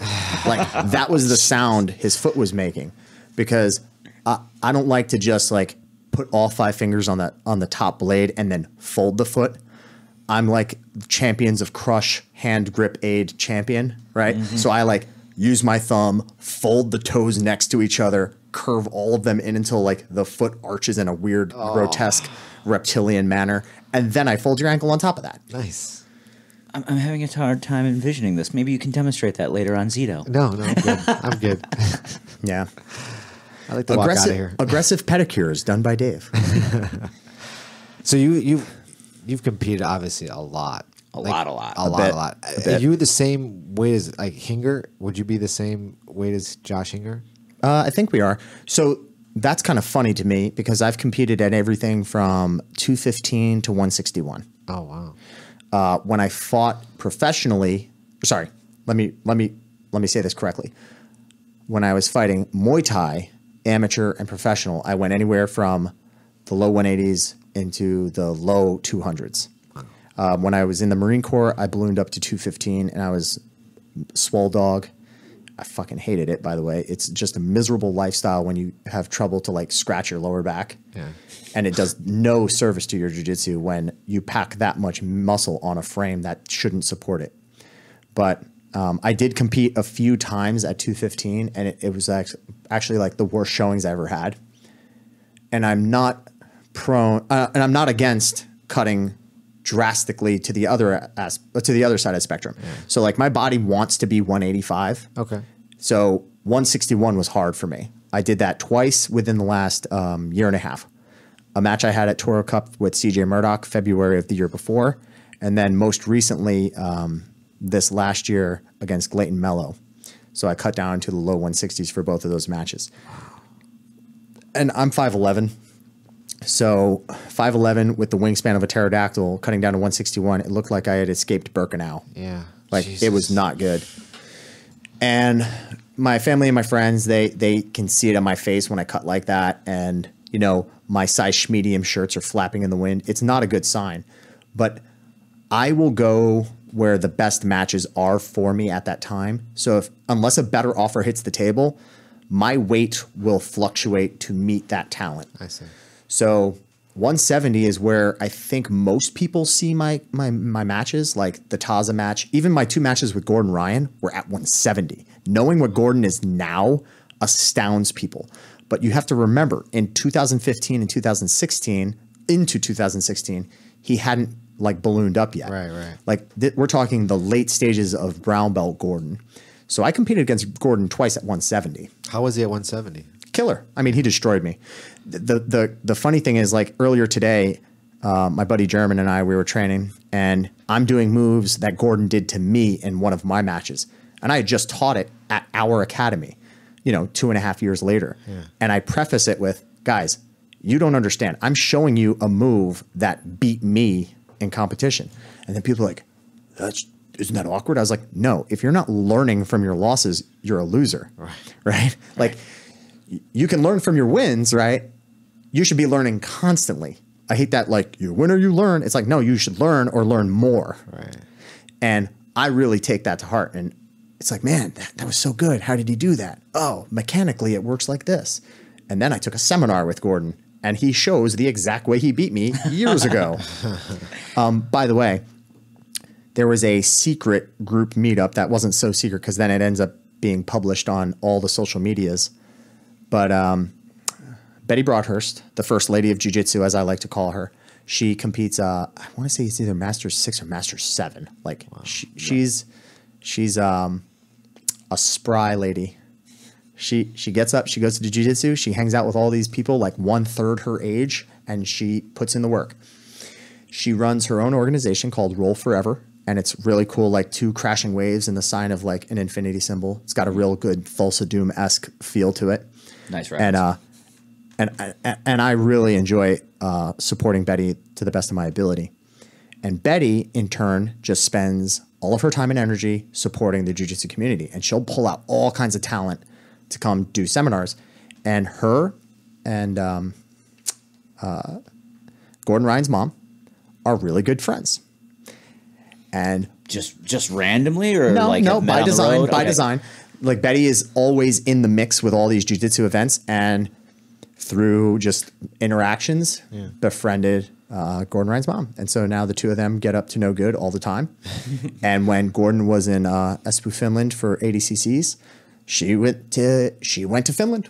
So there's Betty Broadhurst hanging out with the Ryans, and she was there at the podium when Gordon got his gold medal in his in his weight class and silver medal in the absolute.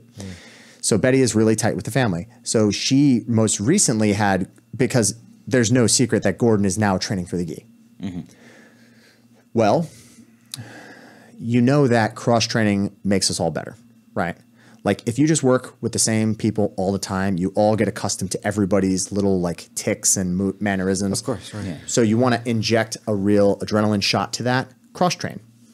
Well, what's better than cross training with a bunch of people that are specifically gi known black belts, you know, and definitely far away from you? So when Gordon came into town, in and when I say into town, I mean I drove five and a half hours to Raleigh, North Carolina, to go to Gracie Raleigh, where a bunch of black belts were told, "You should come here and train with Gordon Ryan," and it's like you don't say no. Hmm.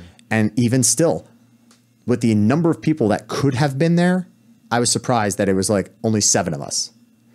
Hmm. And three of whom, let me let me quickly recall, only three of whom were black belts. And then there were a few brown belts and then like a purple belt. It's like, damn, this is who showed up. Why are you guys scared? Get your butt beat, learn. Right. But also, he's learning too. Right. So like Gordon and I are going through and man, it's just like feeling what it was like to grapple him at the finals of finishers one. And like we had both won all of our matches. We get to the finals, and I had like I didn't steamroll the competition, but neither did he at that time. But then to get to that point and lose to him, and I was like, damn, he was 100% better than everyone else. And then a month later to grapple him again and just get hosed even harder. I was like, wow, this kid is learning. And he's just improving constantly. To feel Gordon at 230 pounds, and I was maybe 180. No, no, no. Sorry, I apologize. Uh, I was coming back from my weight cut to 160, so I think I was 170. So Gordon has 60 pounds on me. And he was, relatively speaking, doing whatever he wanted. And he tapped me many, many times. But there were certain aspects of like that role where I'm like, damn, like, I think I should be getting the better of him because this is like my my terrain. This is some gi stuff that I know he he's not necessarily known for. What was he tapping you with? Uh, I mean, he was still getting to the back. Like Gordon's back takes are. But he wasn't using like cross collar chokes. He wasn't using the gi No. in, in So, the yes. traditional sense. Well, yes and no. He wasn't using the gi for his attacks, but he was using it to manipulate everything he wants to control the body. So like his Toreando step over pass was like brilliant, like what I would consider expertly timed for a gi player. And he's doing this as new kid on the block. And I don't want to give away too much from that session because it was very private, but I'm just going to say that if anybody is sleeping on Gordon's gi game, they're going to be in for a rude awakening. And he's still doing the things that he's known for now, but that was already months ago. So, not that I'm spilling any beans, but wherever he's at now is further than that. I know it is. And I can say that with like deathly certainty in my eyes. He is going to destroy the gi world. And when he puts on those social media posts saying, You're all fucked, I believe him. Wow. And this isn't me tooting my own horn saying, man, he beat me up, so he must be good. No, he's handedly beating up everybody that was in that room. And a lot of those guys I respect. And I'm like, man, these guys are great. What goes above great? So um, there's a lot that goes into it. But man, I've competed at a lot of different weight classes. I've had a, uh, just under 250 competition matches or super fights my win percentage isn't the greatest, but man, I'm happy with it. You know, like 75% or uh, my, my phone's outside, but I think it's 77% I win, but it's those 77% that I'm proud of because 98% of those are by submission. Wow. I've won. Oh, hold on. I, like, I know a lot of guys that throw out numbers. You know, like ah, you know, I I finished the plot plot forty five percent of the time or something. No, no, like let's explain this. Yeah. Uh, I'm a data junkie. So for me, I need to quantify everything. I need to have empirical information and I write everything down. Okay. So when I train, I go home and I if if I only have my iPhone or my iPad or a notebook, whatever the medium is that I'm using, I write in there and then I transcribe everything eventually over to an Excel spreadsheet Wow. and I have all of my formula input where I plug it in and all the math is done. And then I have the actual number of how successful I am with any given thing in a training environment. And if I go to competition, it's a new tab with different numbers. And down to the number of times I've done, like, I don't know, like a balloon sweep. Like, I could tell you that. I could tell you every time I've ever done a knee cut pass on my left non dominant side Come on. dead serious. Damn. So, in uh, out of 167 victories by submission, uh, you know there are only two other victories I've ever. Or sorry, let me rephrase that. There are 167 total victories. 163 of them are by submission. Four are by a mix of two by points, two by referee's decision. In 14 years of competition, I've only ever gone to the referee and won by those four times four times in that many years. And I've been beaten plenty of times, plenty of times. But it's like where the difference is that that percentage is split. And more than 50% of the time, I'm losing by points or a referee's decision. Okay. Less than 50% of the time when I'm being submitted, it's by the guys like Gordon, Taza, Yeah, yeah. Stanley Rosa, like uh, Nick Ronan, who's now just getting like some steam behind his name. I lost to him before it was cool.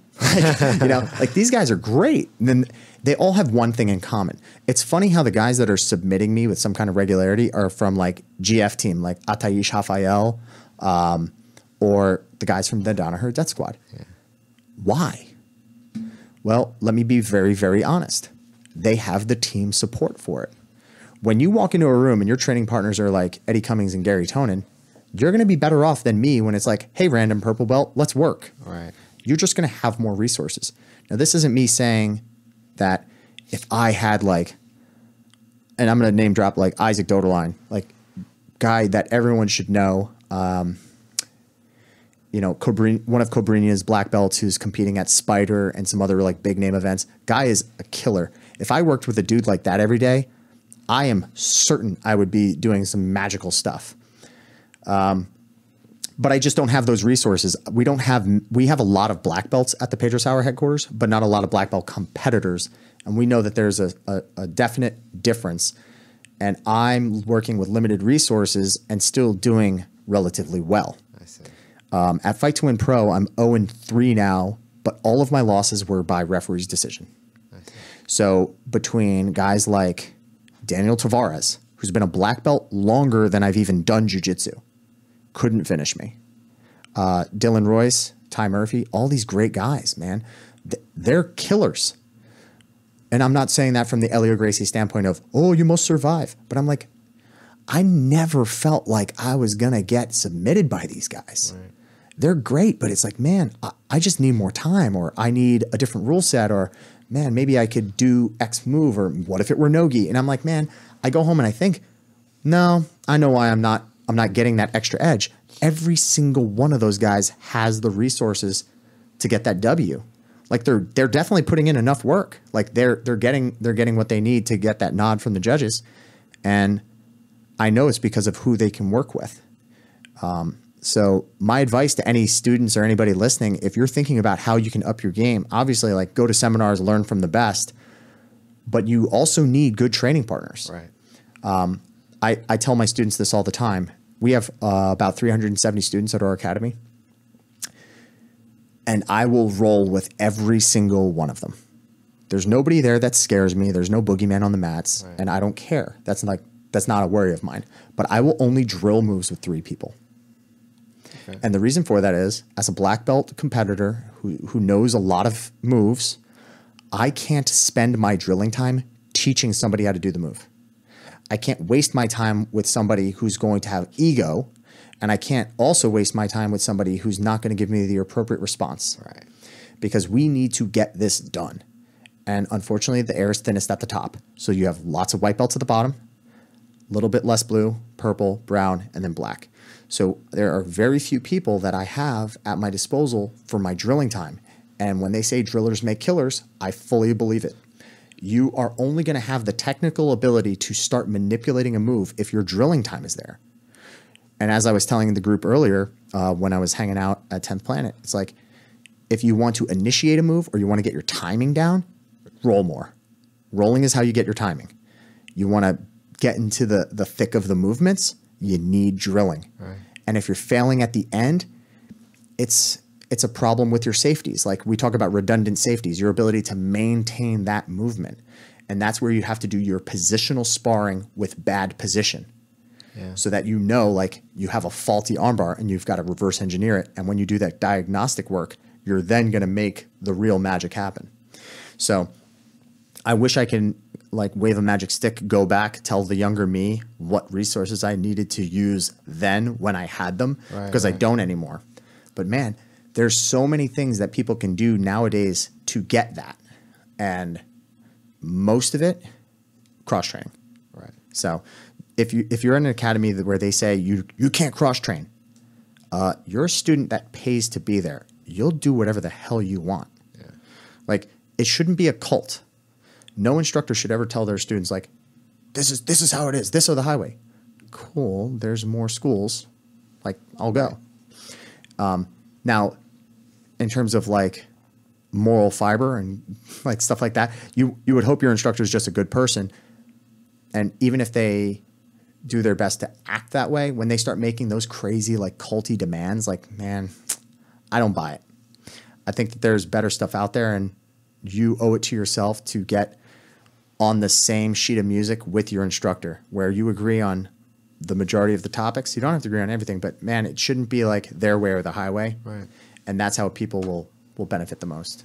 But enough about me. Actually, I was just going to get into more about you. Yeah. but- yeah. Go ahead, Hub. Well, no, I was going to say. Now you said you've been competing jujitsu for 14 years. Yep. Uh, you know, I, I refresh my memory here. How long have you been involved in martial arts? Period. Oh though? my god. Uh, so I started training in 1988 in, uh, in a, a form of like American kickboxing. How old are you in 1988? Five. Damn. Yeah. You're, you're well, never mind. I'm not going to say the next thing. I'll get sued. But anyway, I, I look younger than I am, I guess. But the uh, the big takeaway is my mother did martial arts, but was also, um, you know, she was the victim of many many an abusive boyfriend over the years, and so she felt it was it would behoove her to also make sure that in addition to defending herself like her kids understood the value of self-defense Okay. well her her friend and one of my eventual instructors brian trafford got me involved in like aki kempo uh, muay thai or sorry americanized kickboxing. And then through the years i dabbled in other things. So around 13 i did a different form of karate and then ultimately a form of kung fu. When i was about 17 i got involved in muay thai and um, or sorry backtracking. Got involved in muay thai around 10 around 17 i started competing in it actively as an amateur. By the time i was 18 i went pro. All this while being uh, a senior in high school and then through my college years kept fighting actively and then uh, found my way into um, cross training with some guys like I, I went through like vegas uh, extreme couture like team quest actually in that era Back in those days. back yeah. in those days. And you know, just seeing a lot of people that were getting into MMA, and MMA was still such a small niche crowd. And I was there at ground zero when that turning point happened, where as I was making the leap into doing amateur MMA instead of pro kickboxing, it's like, man, how do you give up money? like amateurs don't get paid. Like you, you make that switch because either you want to do it or you have faith that it will eventually pay off. Right. And I was making that jump. And I remember uh, 2005 hearing about some open casting call for some crazy reality show that the UFC was going to put on. And nobody believed it was going to come to, like, nobody thought it was going to do anything big. Like, I was there when Tap Out the Series was happening and it was a joke, right? Like I was there when a few other things were happening and they were jokes. But then this is happening and people are like, man, you, you better watch out for this. And it's going to be on like a syndicated network. Like, oh my God. And sure enough, right like the day after UFC premiered with The Ultimate Fighter on Spike TV, man, everybody all of a sudden knew what UFC was. Right. I remember getting like um, the Mark Coleman uh, Williams fight on VHS. and I also remember like my mom getting or back in the day, sorry, it was my my mom and my my stepdad getting uh, free tickets from a radio station for calling in on Mother's Day for having the world's most rotten kids. Like we won that. What up? so where did they get? Where did they send us to a UFC screening party? Because we're terrible kids, right? So I remember seeing UFC as like a young man being in the martial arts and like being one of those fans that knew of the sport and knew what it was about. I knew who the Gracies were. I didn't pronounce it as Royce Gracie. Like I knew what I was talking about.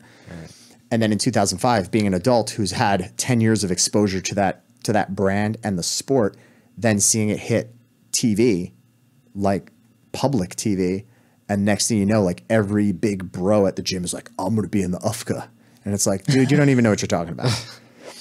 And that was where the silver age of MMA took place, where now you have more people talking about it. It's becoming more mainstream. Right. And I don't even know how many people even remember that that Ultimate Fighter show that first season had guys like doing chariot races with Randy Couture on a beach and like weird obstacle courses, and it was a spectacle. It was nothing like come in, work hard, train, fight. Right. But I mean, that first season, it did enough to get it to the mainstream, and now everyone knew about it. And now you couldn't go like, and then remember, like I went into the Marine Corps shortly thereafter. So then I start seeing like every F F one fifty truck with a big like stack in the back, tap out sticker, right on the back. Yeah. Dude walks out, affliction t shirt.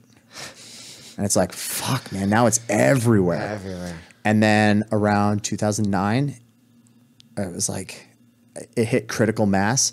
And then we started getting into like, all right, now we have a different set of people. Like Anderson Silva was still the champ. Some other things were changing, but for the most part, it was really steady. 2012, oh my God, we're going to have a women's division? I was in Afghanistan and I found out that Ronda Rousey was going to be fighting uh, Liz Carmouche, who just fought tonight, uh, was going to be fighting Liz Carmouche for the inaugural title. I was like, damn, you know it's mainstream when women are now in the UFC. Right. Now, understand that in 2005, I was fighting on Ring of Combat in the single digits. It was Ring of Combat 8. Right. They're up to like what? Ring of Combat like 70 something now? I'd have to look it up. Yeah, I don't know. But I remember Frankie Edgar's pro debut. wow. Frankie Edgar pro debut, Ring of Combat 9, October, uh, I want to say it was October 28th, 2005. Wow. And Frankie Edgar destroyed that night and ul- ultimately went on to have a very successful career in the UFC, um, beating BJ Penn, you know, all that stuff. But that same exact card in 2005, BJ Penn, Uriah Hall, um, Philippe Nover, um, jeez. I, I just remember like going back on like looking on Sherdog at who else was on that card, and I was like, man, was I the worst person who fought that night? like everybody else went on to have like these crazy successful careers, and I'm like, damn, like Uriah Hall, Frankie Edgar, Philippe Nover, like all these guys either went on the Ultimate Fighter, won the Ultimate Fighter, or won a strap. And then I'm like, yeah, well, I guess I'll go over here and work on my verbs. like, What do you got coming up? Anything? man, I got I got so many things I want to do. I want to do the finishers event uh, in August. There's uh, July 28th, U.S. Grappling. I love supporting U.S. Grappling. I feel like they have the fairest rule set. What's And their rule set? So they do a lot of submission onlys, but they also do a points tournament. Uh, they give a lot of time for black belt matches. They give 10 minutes for black belt matches. They allow um, for lower body extremity locks. They allow straight ankle lock, knee bar, toe hold, calf slicer, and twisting variations on the ankle lock, uh, like uh, estima locks and stuff like that. They allow all that stuff. They just don't allow heel hooks in the gi.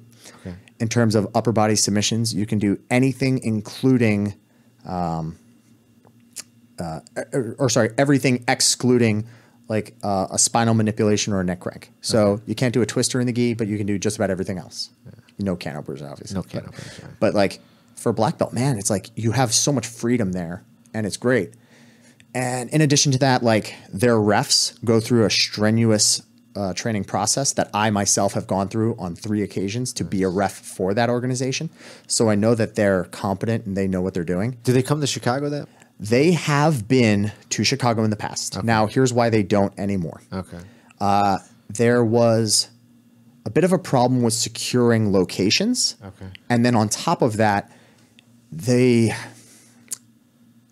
the organization is made for grapplers by grapplers. But what they don't say is that if they put out flyers and they try to send them to local gyms and those gyms don't hang them on their walls and talk about the event, who's going to show up? Right. So when you have an organization that's based out of Richmond, Virginia, traveling to Chicago, and then there's like 200 competitors, that sucks, man. This is Chicago. Like you should have tons of people showing up. Right. There should be 600 competitors. Yeah. There's no reason why they can go to Virginia Beach and have 800 people in the door in Virginia Beach, and then come to Chicago, a mega metropolis, and be like "Mm, 200 people. Right. Now, is that on them? No, that's on the academies in this area that know the event is coming to town and not pumping out the word. Right. When I teach my classes, I start my class by lining everybody up and I tell everybody current events. This is what's coming on, uh, seminar wise, tournament wise, um, closures for the academy. I give them all the news. We bow in, we do our warm ups, we do our drills, we roll, we do whatever, line these guys up. Guys, in case you came in late or you didn't hear me before, this is what's going on. Right. Boom, boom, boom, boom, boom. Yeah. You guess what? Our team shows up in force. We go out. We know these things are happening. We go to seminars as a team. That's It doesn't matter if the, the seminars at 50 50. With when Reilly came out, we had five or six guys from our academy show up to Reilly's seminar. Mm-hmm. Well, now for a seminar like that where there's 40 people, it's like, holy cow. Like we had 12% of the overall Right. attendance of the Right. of the thing. Sorry, numbers. but uh, point being, my my biggest takeaway is you get you get great events all the time, but you got to do your own research if your instructors aren't giving you the word. Me, I'm real. I got my finger on the pulse, so I'm talking to like um, uh, Marcos Duarte and Abraham Awad, the guys with Show the Art, constantly. Um, in fact, Abe is going to be staying at my house next weekend, and we're going to do some jujitsu. We're going to make with the struggle, snuggles, and face hugs, and then film some stuff and have a blast. And then I'm going to try to get on his event um, August 11th. There's a potential that if that doesn't happen, it's because I'll be out in Bellingham, Washington, just north of Seattle for Pajama Murder Camp. It is a group of guys getting ready for Masters Worlds. Okay. And it's just a six day immersion camp with the guy who runs Dirty White Belt Radio, Jeff Shaw, uh, otherwise known as my favorite random brown belt. Uh, Jeff, who is a plant based warrior and awesome human being and dog lover, is running this camp legitimately like in his backyard, but has tons of ability to host this thing. He'll have people staying at his twin houses that are like on his property and he'll be cooking all these meals and just getting people on the mats. And he's invited a who's who's list of like everyone from like Dominyka Obelenyte, like freaking black belt world champion multiple time, Marcelo Yeah. Garcia uh, black belt, to um, Mauricia Mur- uh, s- from Admiral Barbosa's. I think I said it right. I'm, I'm in Black no position to correct you. Black belt champion. Um, you know, a bunch of bunch of That's- guys from like awesome. Robert Drysdale, black belt, Cody Malte, a few other guys, and so we're gonna get together and uh, strangle each other in pajamas for a week, and so we call it pajama murder camp. So that might come up. Um, also, there's a U.S. grappling in Philadelphia in August. There's a U.S. grappling sub only in Raleigh in August. Past that into September, I don't look, usually look that far ahead unless it's a super fight. But tournament wise, those are some things on the pipeline for me. Um, my knee is a little shot at the moment, so I've got to really weigh into whether or not those are worth doing. Now I- you said you're going to take stem cells. Yeah, man. Where you get those at? Uh, you know, just around the corner. Is that right? Crazy Billy Ray and them. no, uh, hey man, want to buy some Sims? Yeah, right. yeah, I got this little fetus and an umbilical cord.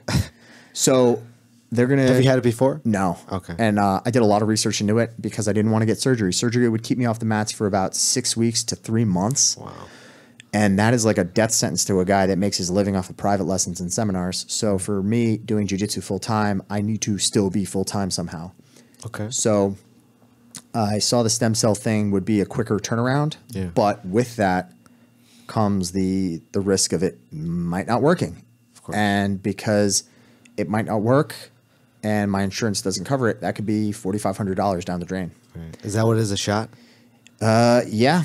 So for for this particular thing, I know people that have had it in their hip, and it might change in value depending on where you go. But for where I live in Northern Virginia, with the area in which I am getting it uh, localized into my knee, that was the price that I was given. How, how does that work? Because I'm always interested in fixing my body because I got you know aches and Yeah. pains in here and there. I'm yeah, just thinking, cocaine is a hell of a drug. is it?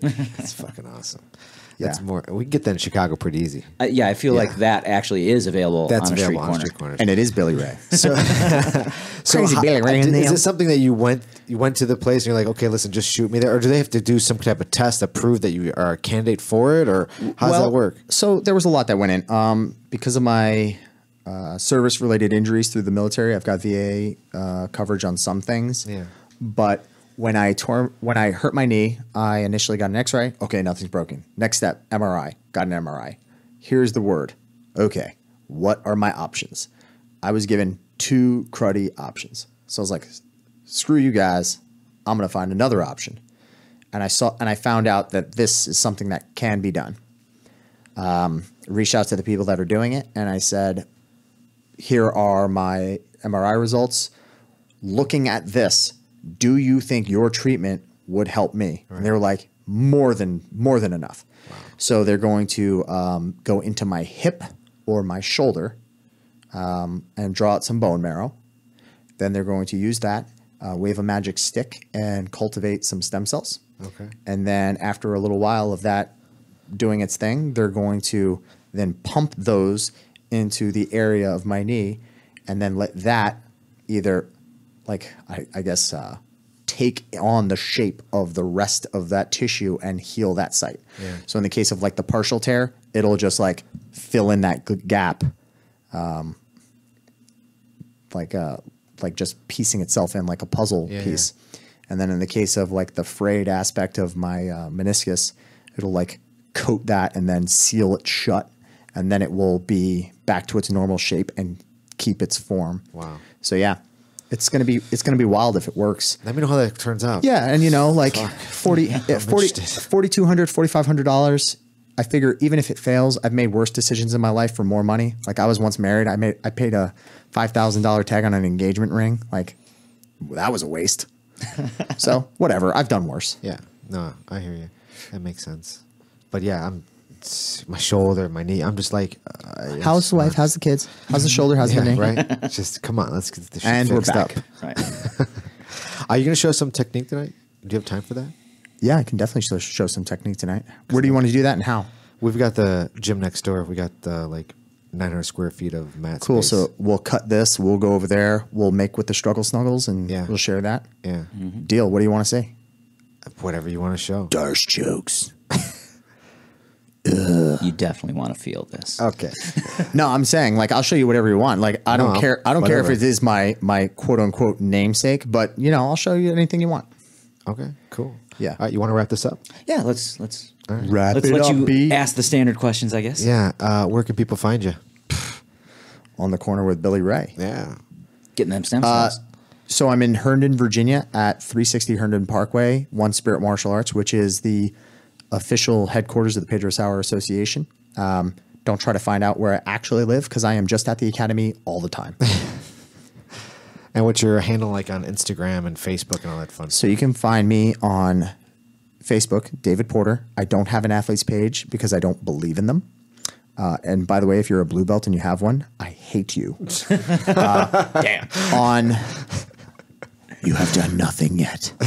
Um, and on Instagram, the only other social media that I actively use, I am Dave Darce. So at Dave Darce, super original, and you can find me there. Um, if you're trying to find me on Pokemon Go because you want to do trades, I am in game David Porter. I don't use an alias because I ain't afraid of no nerds.